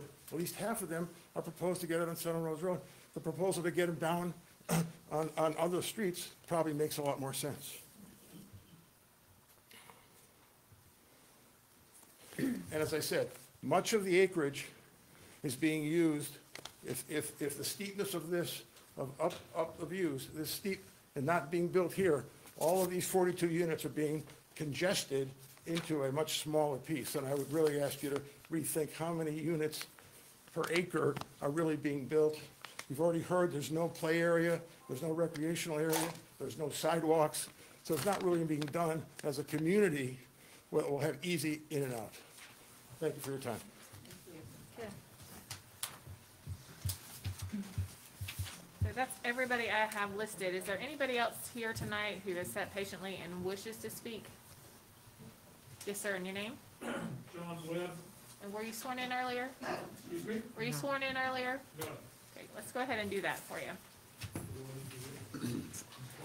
If I find the right paper, we get you sworn in.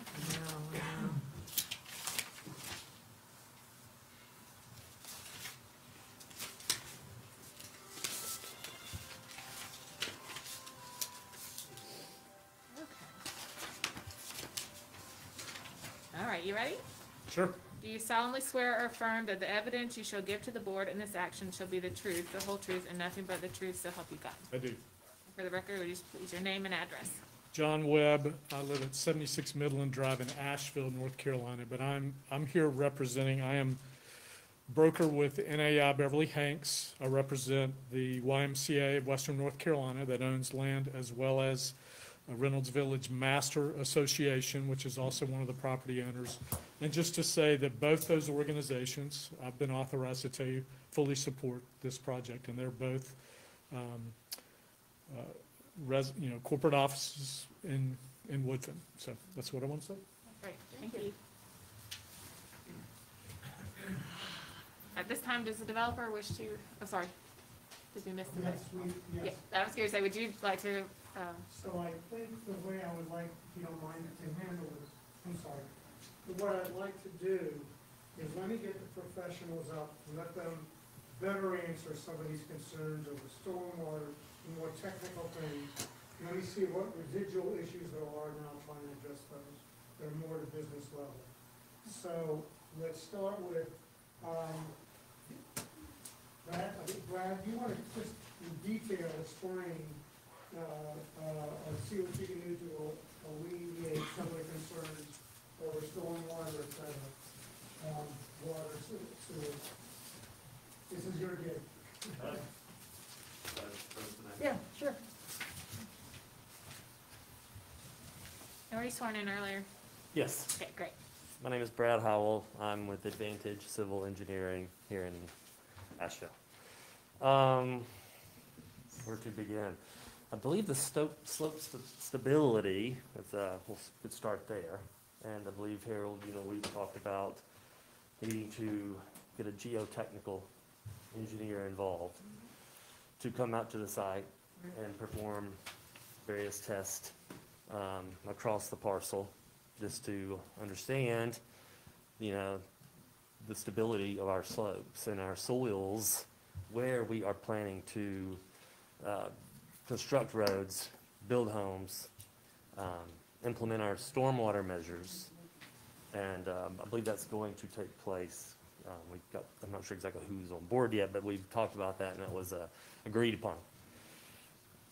Um, stormwater will be designed, um, per Buncombe County standards and specifications. That is a very intense and detailed review process. Um, Victoria Holland, who we work with, you know, she's the stormwater administrator now for Buncombe County, is very thorough. And, um, so, you know, th- there are rules and regulations that will manage the stormwater, the additional impervious that we are proposing. We have to design BMP's best management practices for these stormwater measures to handle all the additional impervious that is, um, that we're creating. The sewer is indeed Metropolitan Sewerage District. It is not Woodfin's sewerage pipes. And again, we have received our allocation for all of these units from MSD. And that process is essentially, you, you tell them how much, you know, discharge, gallons per day, that these units will create. They run through their calculations and they determine if they have the, the capacity, which they do. We But have that to has nothing to do with stormwater. that has nothing to do with stormwater. Right. That's Stormwater does that's not when go into the sewers. That's when you flush the pipes. toilet. That's right. Okay. And all your sinks, dishwashers, Got those it. things. Um, the stormwater is contained in, you're probably mostly familiar with like stormwater ponds and things like that. Dry detention pond, bioretention cells, and some of it may be familiar with like underground StormTech systems. And what those are all created and designed to do is to contain the stormwater runoff to a pre-development level.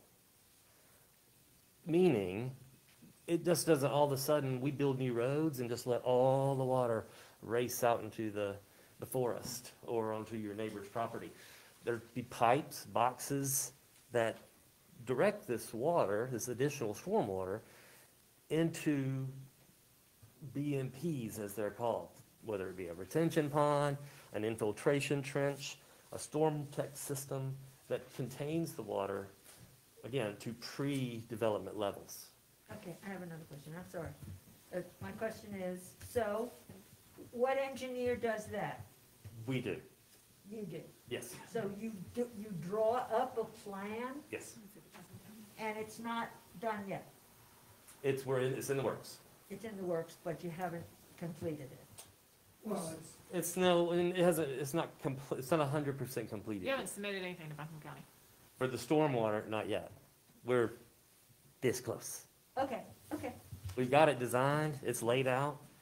Um, we're just kind of running through our calculations to make sure that our numbers are where we like them, need them to be, so that when we submit it to Buncombe County, Right. Hopefully we can get, you know, an approval, a permit. I don't, I don't think you can say anything, you can't say anything. I don't think so. Mr. Sneed, there's a question permitted from the audience to Mr. Howell. we don't have, he's not a party, he's shown to have standing, so now. No. No, sorry. Maybe we'll cover it for you. And then the water, um, again, that I didn't, wasn't fully, um, clear when I, what I stated earlier. What happens is we work with Woodfin Water to develop, you know, kind of a plan, a strategy. And then that is actually goes to Raleigh I'm gonna have to hold you. for a I'm gonna have to ask that you hold, hold your question for after the meeting. Sorry, Brian, go ahead. That's, I mean, that's kind of the gist of it. We're, we're, we're, we're abiding by all of the rules. Right. You know, we have to, we won't put our seal on anything if we are not confident that it is in the best interest of public safety. We just have to know you're doing it, and we want the neighbors to know that in good faith that, that we're doing it. Absolutely, yes. Um, I do, I, I know you mentioned working with Brian earlier about access. Um, can we talk about how we reached that, like, fi- I mean, is it the North Carolina Fire Code? Like, what made you come up with the access? What's going on Senator Reynolds Road versus? I would like to touch on the, uh, fire department, meeting with the fire marshal. I did personally meet with the fire marshal and presented our plan to him and his team. That was the fire marshal and like five other firemen, firefighters. And, uh, they approved it. They liked what they saw. You know, we did, we do have an emergency vehicle turnaround towards the end of the road that's accessed of the lower units. Um, and they had no problems at all with the two access points coming off of Senator Reynolds Road. The reason we decided to have multiple access points was again because of the steepness of the site. In order to, for us to put a road coming from Cobbler's Way all the way up to the fourteen units at the top would require a very substantial amount of grading and possibly large retaining walls, larger than any of us really wanted to, uh, it just made sense from a, from a grading standpoint to, to try to limit our, our LOD, which is our limits of disturbance. We tried to keep that at a minimum if possible, well, as much as we can. And have you guys thought about a construction phase plan and what you're gonna do with construction vehicles on this Reynolds Mountain Road? Just asking for the neighbors.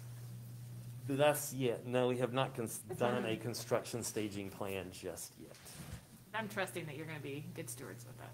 Mm, absolutely. That ties into my question. This, this section where you've built the other townhomes and up to the top of this plan, it- road damage, are you guys planning to repave all of that when you're completed, when your project's completed?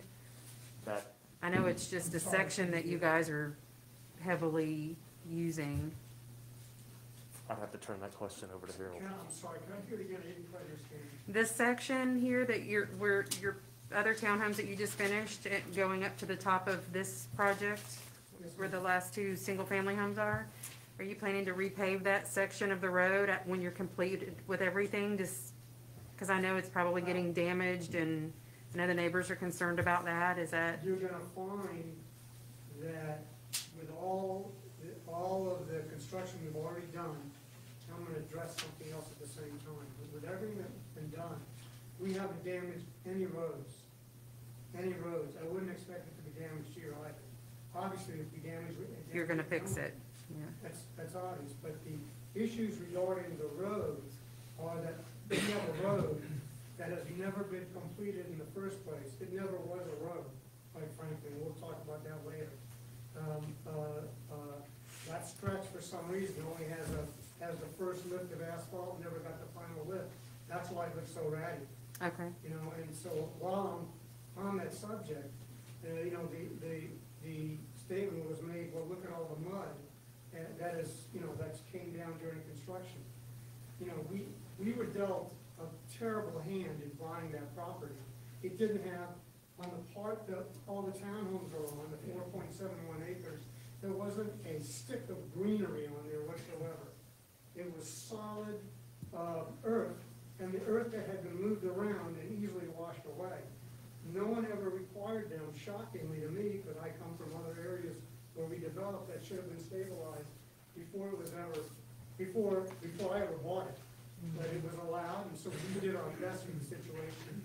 And they're right, there was sand, the the stuff washed down there, Brian tried to clean it up as best as he could. I can only tell you, luckily it was a temporary issue, and looking at it today, it's gone and it's done.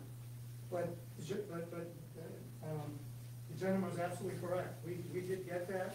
We're, I cannot see how that will happen here. Just given, given the dynamics of it. Hmm. Are we allowed to put a condition on a performance bond for the existing roadways that they use during construction? No, that would be built into your ordinances and would be for the town to do and not this board to do. Okay. And It's worth a shot. So much. We had to decide whether basically it's allowed as a special use or not. And then Adrian let me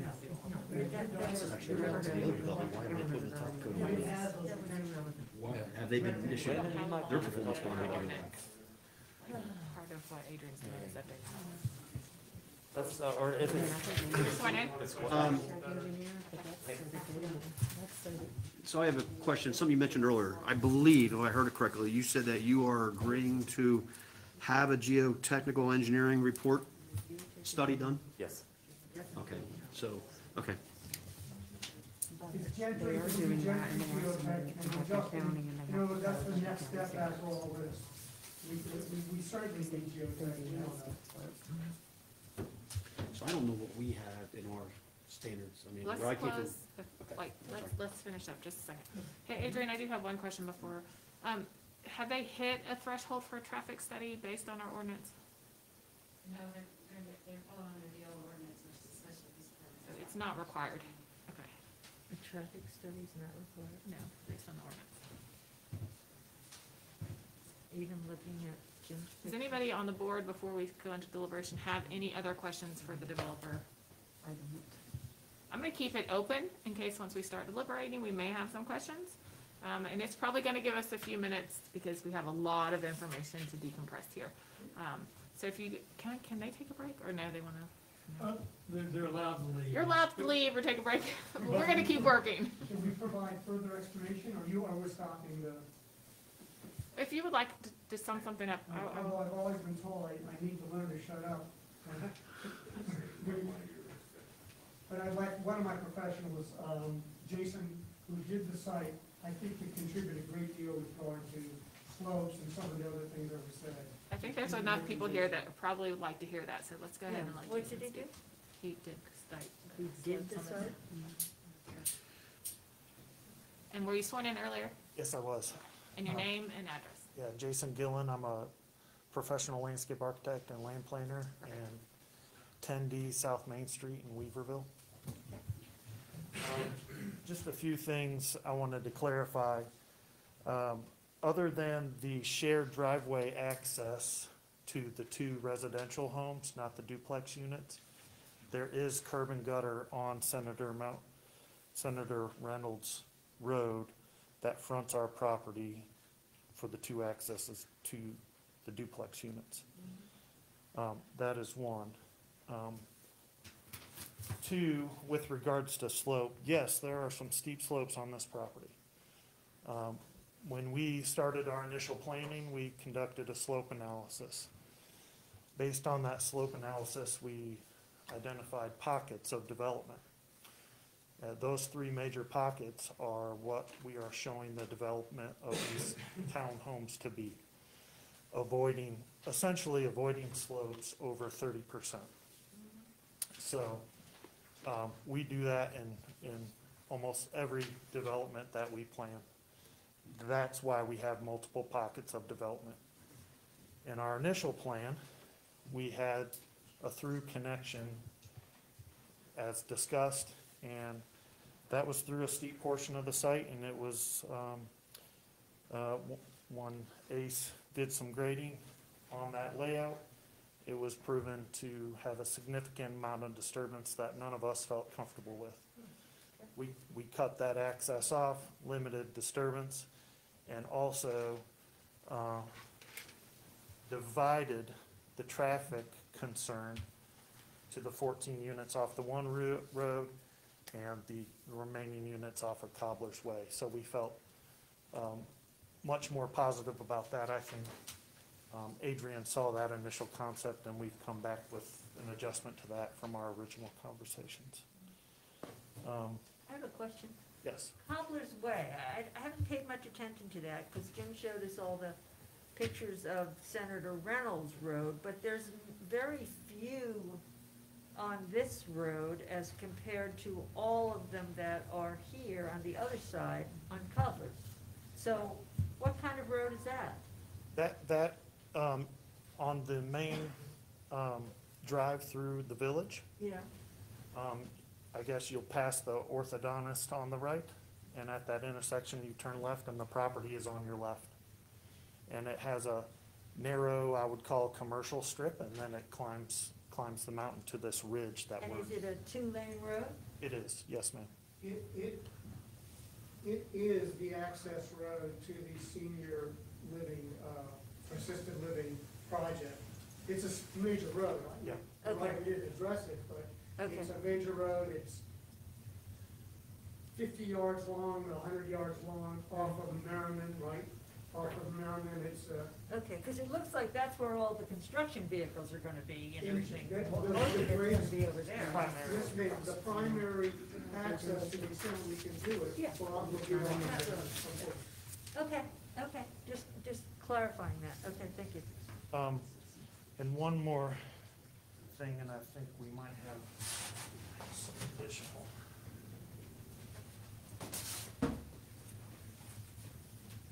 Um, So everybody, um, continues to talk about sewer, and I would like to clarify, one, their storm drainage, and two, their sanitary sewer. Sanitary sewer is what you flush down the toilet. Stormwater is what runs down the hill. So, yes, there are currently no stormwater facilities on the road. However, in this location,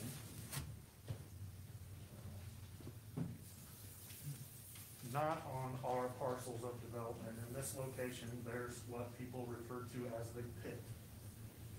This mountain is draining to this pit. It's being discharged through a pipe on this fill slope, which you can tell we're avoiding with development or future utilities. And it is piped to approximately, maybe piped the entire way. And there's a huge stormwater facility here. Can we see it? So it comes down the hill to this point, Right. and it's piped to this location. Okay, so when you start construction on this whole grouping over here, mm-hmm. and you start taking down trees and things like that, where's that stormwater gonna go? So this facility is coming down this road, discharging into that stormwater. Right. Same here. Okay. And what we have to do, and I would like to Mm-hmm. also clarify this, at the time that Reynolds Mountain was developed, these stormwater ordinances were not in place. That has since changed. We are, we are in a new era of requirements. So, as Brad stated, pre and post-construction, based on calculations, essentially have to be the same. So this will be captured, treated, and released slowly as if this was still woods. And, but what about that side, where all the, all the, that And construction's then gonna be? this'll, you know, release slowly into here, this'll come down the hill, and the, here we divided it into three smaller storm systems. Okay, okay. So this gets treated here, that gets treated here, this gets treated there. By, um, detention, retention basis, what are we, what are you, what are you actually talking about? Jellyfish? Ground system, and guys, you're gonna have to explain that. So, so, so you can see there's five, you know, there may be potentially six different facilities when they get done with the calculations, but we've divided this into smaller systems to deal with pockets of development, Okay, okay? thank you. If you want a further understanding of how that works, we have the people here. Let's- You let's- do? Do you wanna hear the, the other? I'm version? curious as to what type of device, I mean, I've been through Yeah, sure. all different kind of basins and jellyfish and all kind of weird things. So a lot of these, Were you sworn in? yes, I'm, I'm uh, Landon Robertson, I'm with Advanced Engineering. Um, so, um, this hasn't been mentioned yet, the stormwater's, uh, a low impact, uh, design, so, uh, so that sort of reduces the amount of, uh, you know, clearing all that stuff you have to do. And, uh, this type of systems we're going to, we're proposing now are, uh, underground infiltration systems. So they're akin to, um, similar to bioretention cells, uh, with, uh, uh, difference of, instead of a, of like a medium, like a biomedium, you just have gravel. And, um, they function the same way, a lot of this coastal stormwater will just infiltrate into the ground, and then any overflow will come up with, uh, top of there, which reduces, uh, flow around those. And so they're really low flow, uh, releases, and, uh, you know, they're underground, so you can't see them, And you can walk on them and do all that stuff, it's, uh, not really a, a big deal. Uh, you don't have to worry about, um, maintenance is easy on these, uh, to keep it easy, that the, the low impact, uh, design makes it, uh, less intrusive, uh, to do stuff around it. So a question with that, because where I came from, we put in a lot of underground storage things up in New Jersey area and stuff like that. They are very high maintenance. The ones I've dealt with are very high maintenance, very co- very expensive because you have, um, confined space entry, and you have materials gotta be replaced, fillers gotta be cleaned, so are these, can you describe the, who's gonna maintain them? Is development gonna maintain these, or is this gonna be a Woodfin problem? Okay, If it's any help to this board, um, and the stormwater controls, once a development's done, there has to be recorded maintenance Mhm. provisions on the public record, assigned to the HOA, and law requires the systems be inspected annually. Okay. And of course, we provide at their, con- their their dollar, okay.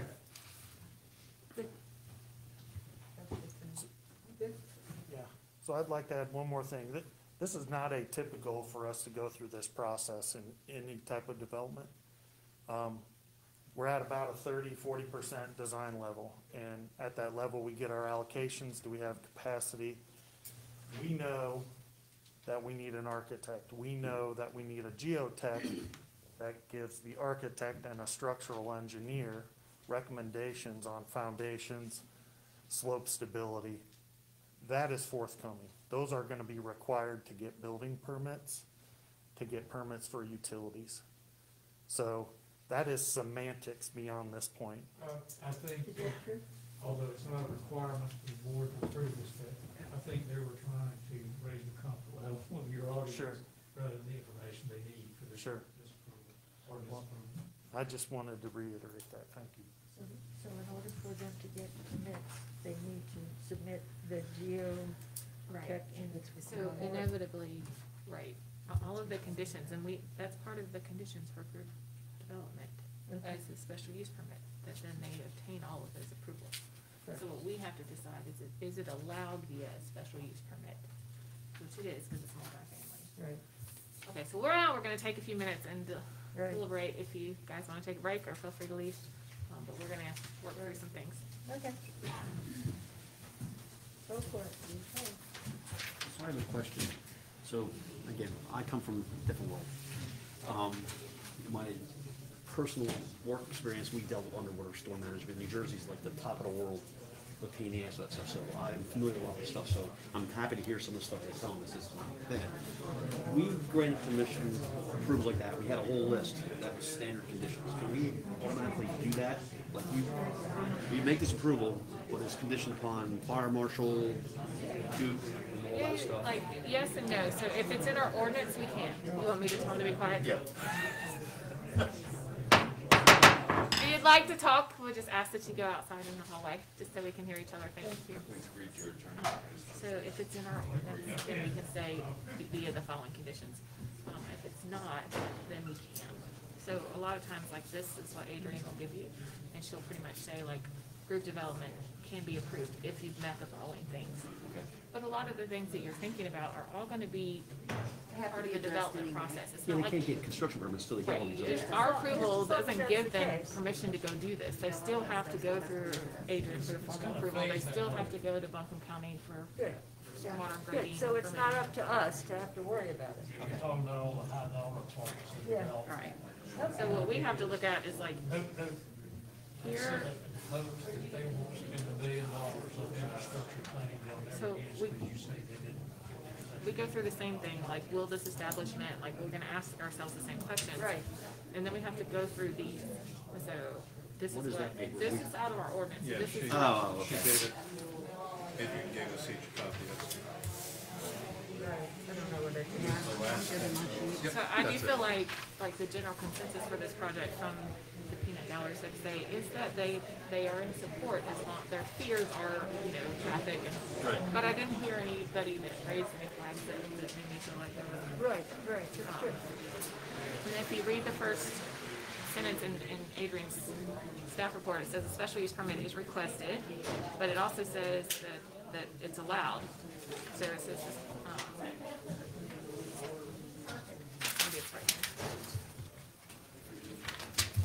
Had it this whole time, and now I've lost it.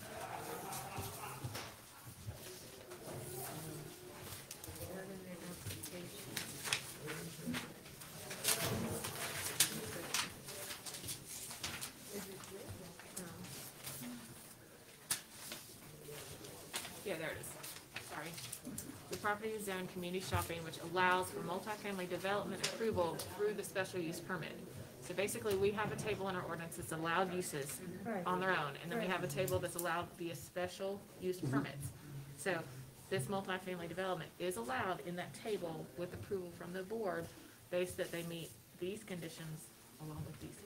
So that's what we'll talk through. Does Good. everybody feel good about that? Perfect, yep, I'm Okay. good. So, um, will the establishment, maintenance, operation of special use be detrimental to or endanger the public health, safety, morals, or comfort of the general welfare?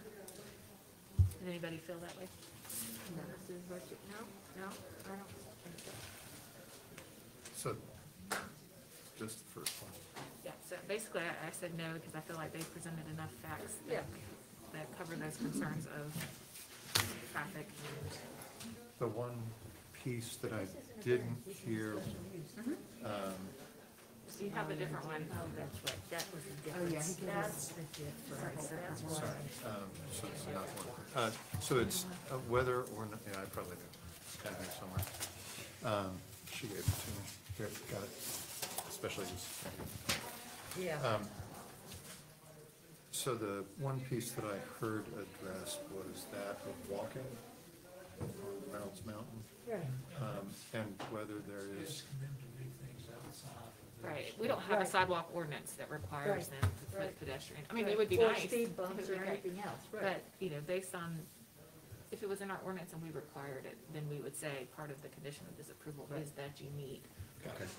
Right. But, you know, it gives them a chance to, Right. and we can make a comment when we approve it, that, that we'd like for them to be We good sure would stewards and like- work with their yeah. neighbors to Right.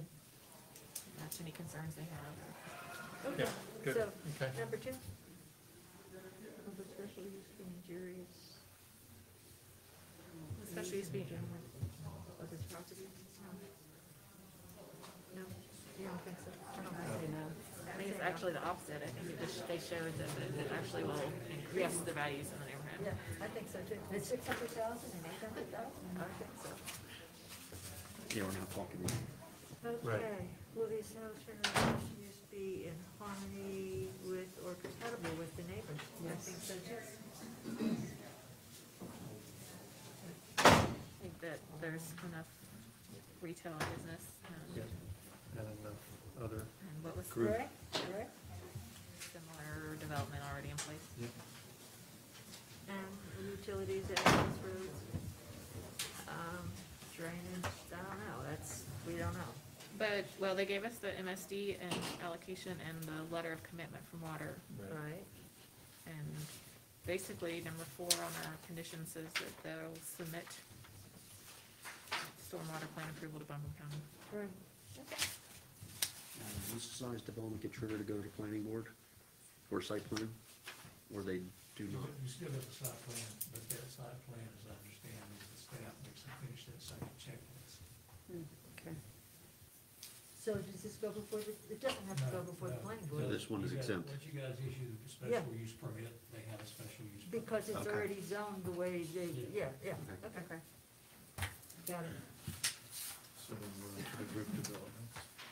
And the following bullets, so as a special use in the case of two or more buildings to be constructed on a plot of ground of at least two acres not subdivided, not subdivided into the customary streets and lots in which not to be sub- subdivided, applications are may be varied by the planning board of adjustment in a manner that will be harmony with the character of the neighborhood provided.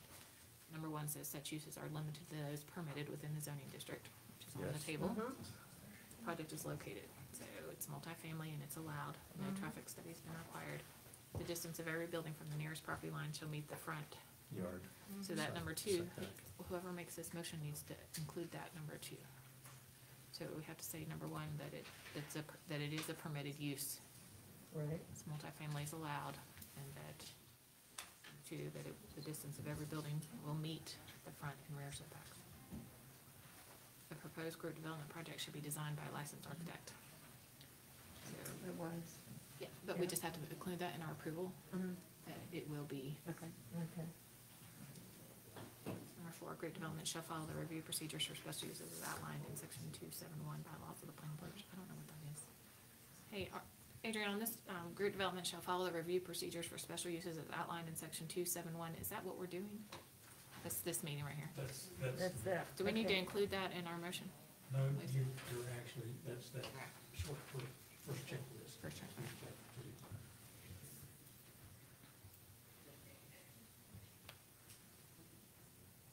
So Number five, we just have to say that they did produce a, Mhm. and was reviewed by this board. Okay.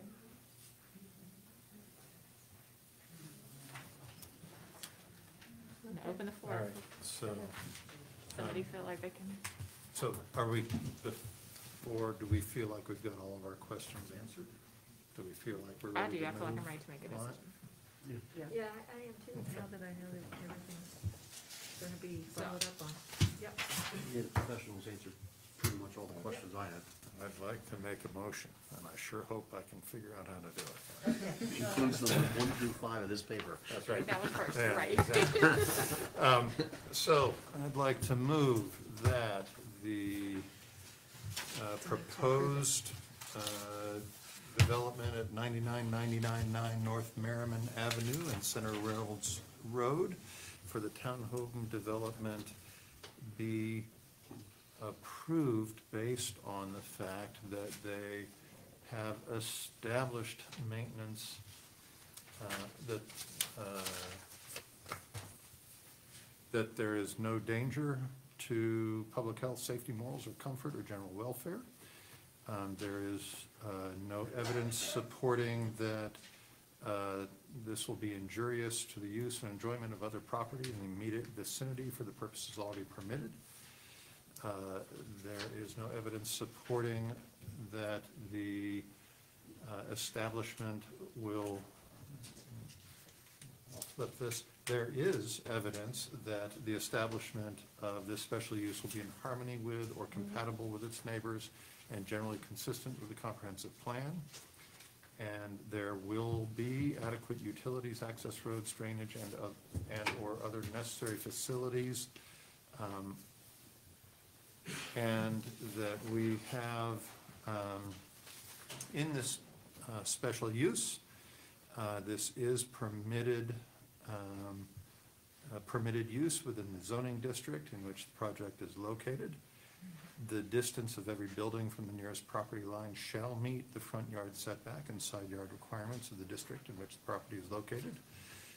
The proposed development shall be designed by a licensed architect. It shall be so designed that the overall intensity of land use shall be no greater than that permitted in the zoning district in which the property is, project is located. Furthermore, the design should guarantee and will guarantee uh, permanent retention of open space and ensure its care and maintenance. Um, And uh, the project group has uh, produced, and we have reviewed, uh, group development plans, um, including submission of design plans showing proposed layout, including location of buildings, driveways, street parking spaces, and recreation areas to the planning board adjustment. Uh, uh, And we have studied uh, prior to final approval. Um, And we have seen at this point the uh, approvals for both uh, proposed sanitary sewer and water distribution systems. Um, And um, the approved project will be started within 12 months and be completed within a reasonable time after its approval. Amen. A second? You're not gonna require the geo, geotechnical study? Yeah. We do, that is a post-approval at construction level, not something this board approves. It's not in what the ordinance gives them the authority to approve. And are you gonna require, uh, any writ- written, uh, letter from the fire department that there is no safety hazard? That, I mean, we, that's, we, we have verbal, but we have that's nothing not for writing to us. show that. It- You it- can make it, you can make this condition on that being provided in writing. And we, and further, I will, I will add that there will be a written letter from the fire department, from the fire marshal declaring that there is no danger or difficulty for emergency vehicles with Woodfin this Fire project. Chief? Woodfin Fire Chief? sure. I mean, whoever our Adrian would typically turn to for that approval, we would look, look for that fire access. Service the area. Right. Yeah, good. I, I just don't know the fire marshal, fire chief, I don't know which exact one it'll be. Is it Buncombe County or is it Woodfin? No, no, it's Woodfin. Woodfin, okay. Any other suggested additions to my motion? One question, so there was something mentioned and stuff like that. Is there any way to put a condition that all construction vehicles will stay on their property? Or we cannot? No, no, you can't do that. We can't do that. Okay, just didn't know what was in our ordinances. Would be nice if we could Well- make those rules. The reality So- is, for us, it's, e- special use permits either allowed or it's not based on, on what they presented tonight. So anybody second the motion? Yeah, I'll second. And we'll go ahead and vote in favor? Aye. Aye. Motion approved. Okay. We have one more. Okay. Alabama, three, nothing, the end of the first quarter. Thank you. What is it, what's the score? Three, nothing. We, we do have one more item, so Anybody cares about this last we, we do have one person that cared about it. Is that person here?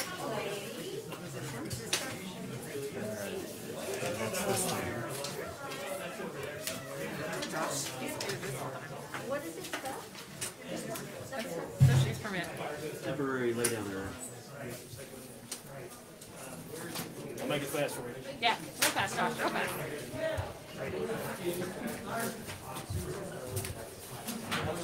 And this is a Three, straight up, nothing. Alabama. Alabama. this is a straight up variance, correct? Nope, it's a special use. It's a special use.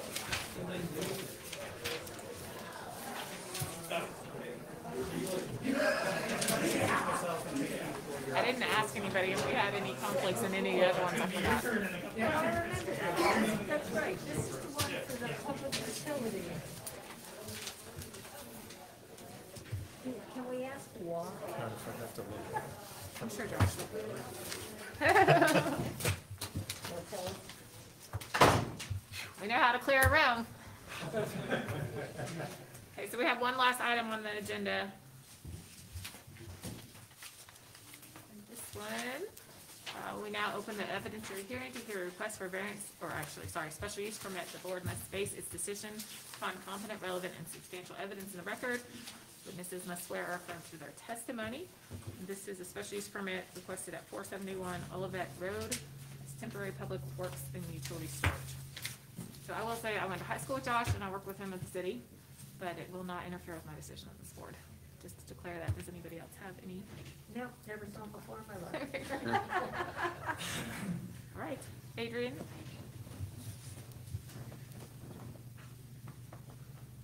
Um, so this is a special use permit for a temporary public works and utility storage. Um, the request is in response to a project by Duke Energy for the Craggy Enka Reliability Transmission Line Upgrade Project.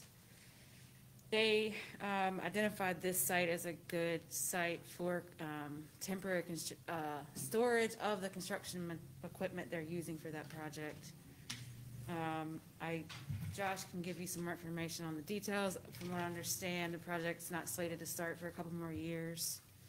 Um, and once it is started, the site will be used for a year for this purpose.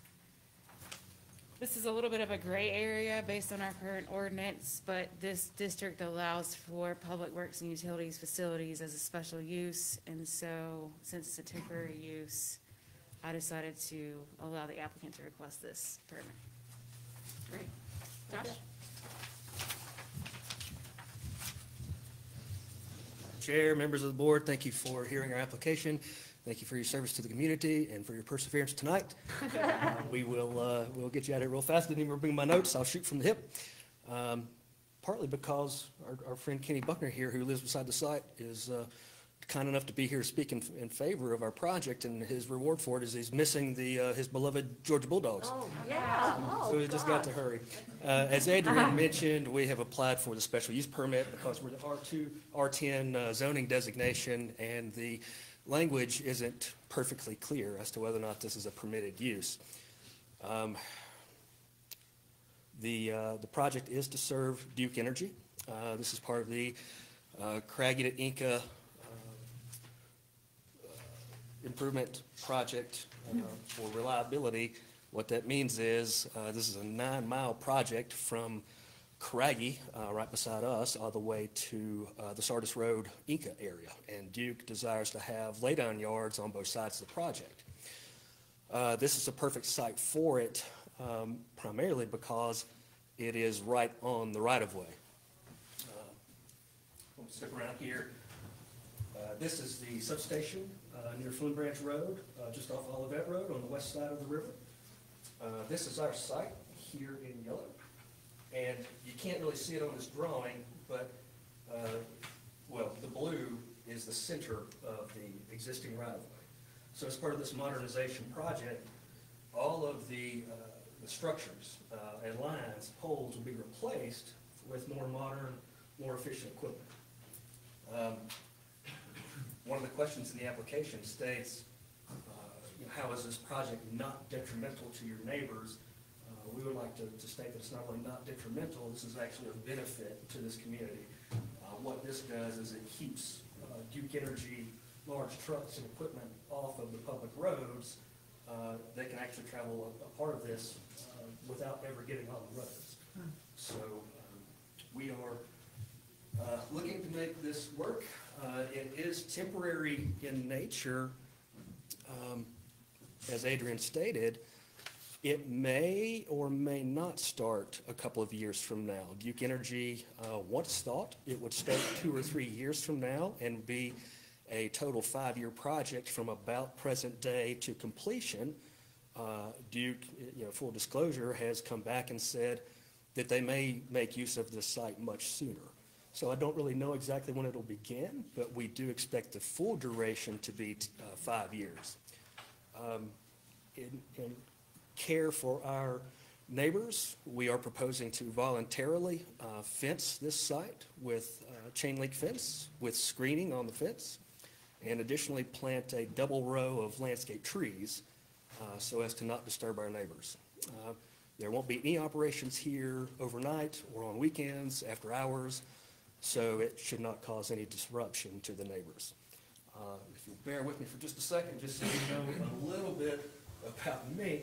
Uh, Clearly, uh, Susanna and I did go to school together. Uh, In fact, um, I grew up uh, the first few years of my life right here at 231 Macedonia Road. My parents built their second home just beside that at 333 Macedonia Road. I built my first home here at 1018 Olivet.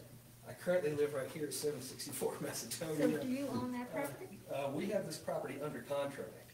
Um, in this present era, as you may know if you deal in real estate at all, uh, pricing is pretty exorbitant. Uh, the owners of this land are, are asking, uh, an exorbitant price for this property. Uh, I'm sure I'll get the question, what happens if the special use permit is not granted? If it's not granted, we won't buy the property. Uh, We are scheduled to close at the end of this month, but due to the price, uh, as we say in the development world, it does not pencil out. Uh, There's no way to make a future development work on this property without having the benefit of the Duke Energy lease Right. in the meantime. And the point of taking you through that little exercise about our involvement is to let you know that we are not just uh, developers from another area. This is our community. You know, these are our people. Uh, They will run us out of town faster than they'll run you out of town, I promise. So you work for Duke? No, no, I'm, I'm not related to Duke at all. Uh, my dad and I own a surveying company, land Oh, surveying. okay. It's my dad, Ed.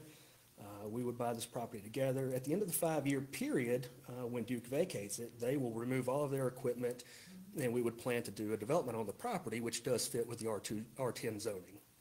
Josh, can you talk about what, like, their operations is gonna look like? I mean, are we talking about trucks, like, coming and going all hours of the night and day, or? No, no, no operations after hours or on.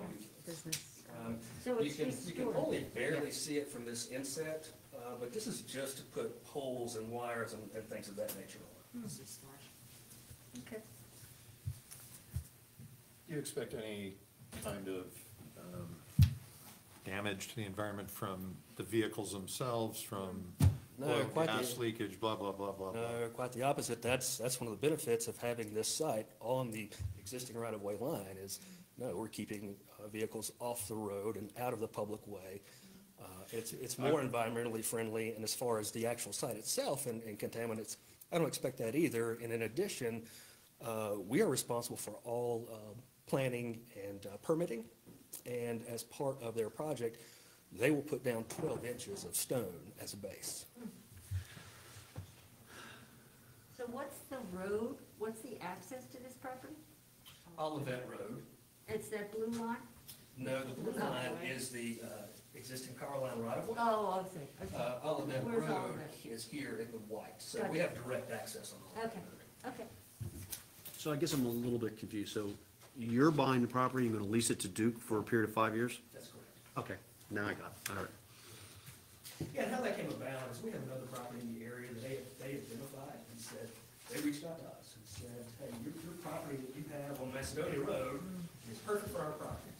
And our response was that project is already under development and under contract to sell.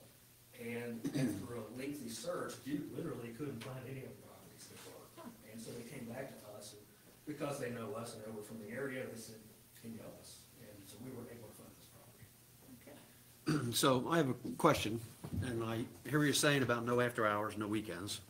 I just retired after thirty-three years working electric utility in New Jersey. We have been through all this stuff, and we've been doing it for the last fifteen years.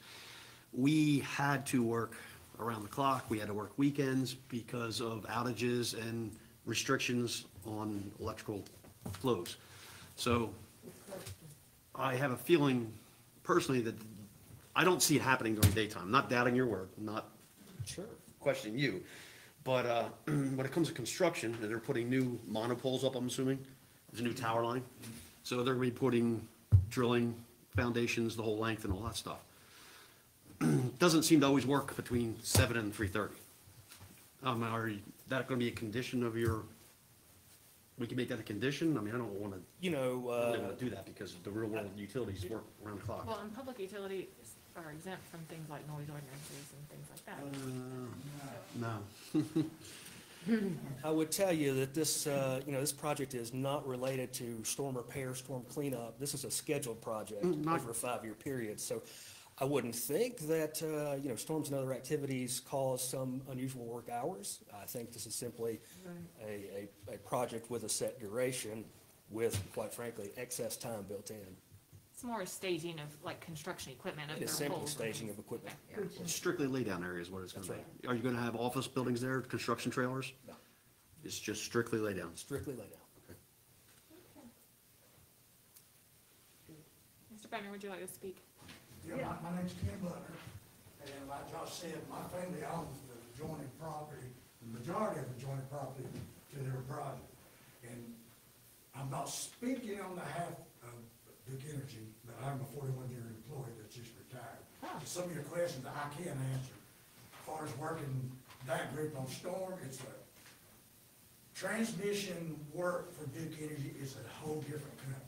I don't mean, The regulated- I don't mean storm work, because I get that part of it. I But you were thinking that maybe they'd be pulled off and they'd be working. Due to, no, due to construction practices, I've never seen a utility construction be stuck between seven and three thirty, because you have deadlines and you have electrical outages, and if you take a transmission outage, you have to make other arrangements.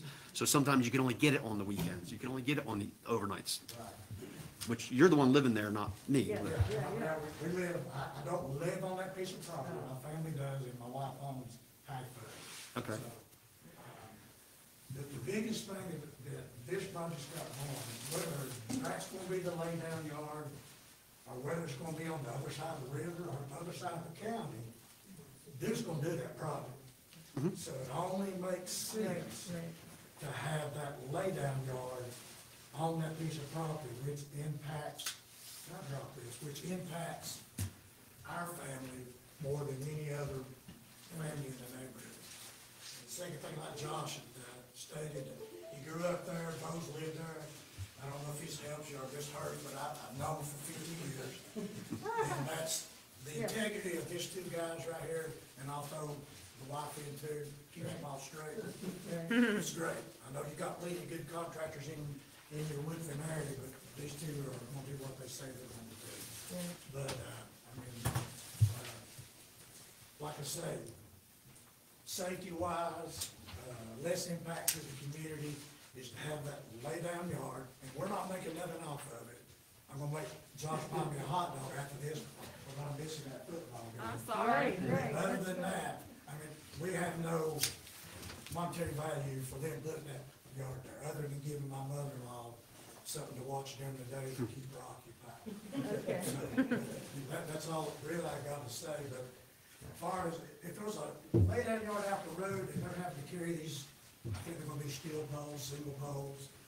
Uh, If they have to carry them from across the river or across town or something, and then heavy equipment, the length of the poles and all that would, would be a bigger impact to do that than it would be to use that yard as a, as a laydown yard. And I, like I said, I, I wasn't speaking on behalf of Duke Energy because I'm going for that. But, but most, what's gonna be in that yard is poles, wire, insulators, uh, probably some equipment part there. Um, and, and since you've been in the business, you know, power companies are probably the most scrutinized business in the world. They've already went through and done their environmental surveys and, and as far as hand digging and testing, where they can set a pole, where they can't set a pole, whether there's a, a one-eyed tadpole down there in the creek you can't mess with. So the environmental people, Tree forks. the environmental people will be on them more than Josh and Ed will. Right. So they're, they're they're heavily scrutinized, so, uh, sorry, I didn't mean to, want you to later. But anyway, I mean, uh, that makes more sense. I don't suppose there's anybody here to vote on it, but Okay. that's, that's my reasoning for that would be the question. Thank you. Any other other- I he mentioned something that once this is done, they're gonna have the property, they're gonna come in for development. Yeah. Can this be conditional that it's only for this purpose, and then they'll have to come back in for development, or we open a can of worms? Well, I was gonna ask Adrian that same question. Since this is a gray area, can we limit the temporary or the special use to a five-year period? Yeah. It- It's temporary. My, my suggestion, of course, grew up in construction is at twenty percent of the time. Yeah, yeah, and I get that, and I'm not saying hold them to a deadline, but my, my concern is, when Duke is done, do they already be grandfathered in and come and build development without No, coming back to the No, board? no, no, Okay. absolutely not. Okay, that's my, that's my concern. But it sounds meet the like needs of planning the to permitted development. use and development won't be back anyway. Yeah, this is different. Okay. Okay. So, at this time, we'll take a few minutes and deliberate. Thought we just did. Okay. Okay, you guys are done for the night. It's now seven threes. What is it, seven three? No, no, I'm just kidding. We really do take our job seriously, I promise. I'd like to make a motion that we approve the proposed uh, property development at 471 Olivet Road um, for the Duke Energy project, uh, having established that um, there will not be any uh, detriment or danger to the public health, safety, morals, comfort, or general welfare of the community. Um, That this will not be injurious to the use and enjoyment of other property in the immediate vicinity of the purposes already permitted, nor substantially diminish and impair property values within the neighborhood. Uh, That the establishment of the special use will be in harmony with or compatible with its neighbors and generally consistent with the comprehensive plan. That there are adequate utilities, access roads, drainage, and other facilities uh, provided, and that adequate measures uh, have been or will be taken to provide ingress and egress uh, to keep traffic to a minimum. I'm gonna put a condition on your time. Oh, yeah, the time. And that the project will be done within six years. Any second? I'll second. All in favor? Aye. Aye. Motion approved. Okay. That's it. Okay, got it, adjourned. So this time, uh, I'll take a mo- I move that we adjourn. A motion, yes, I move to adjourn. that's it. Well, they are, that's a hundred Brian, can fifteen. you hear us? We're making a motion to adjourn, okay. Adjourn, second, done. Yeah, we switched from all the old uh, lattice work, we went to all monopoles now. Yeah, We went- that's what's gonna be, they're gonna be Everything steel went from poles, one fifteen one side, two side. We usually only have like two or three because we didn't two meet last thirty, and we're doing three twenty-five, five hundred, so we're like. I don't know, we got any five hundred.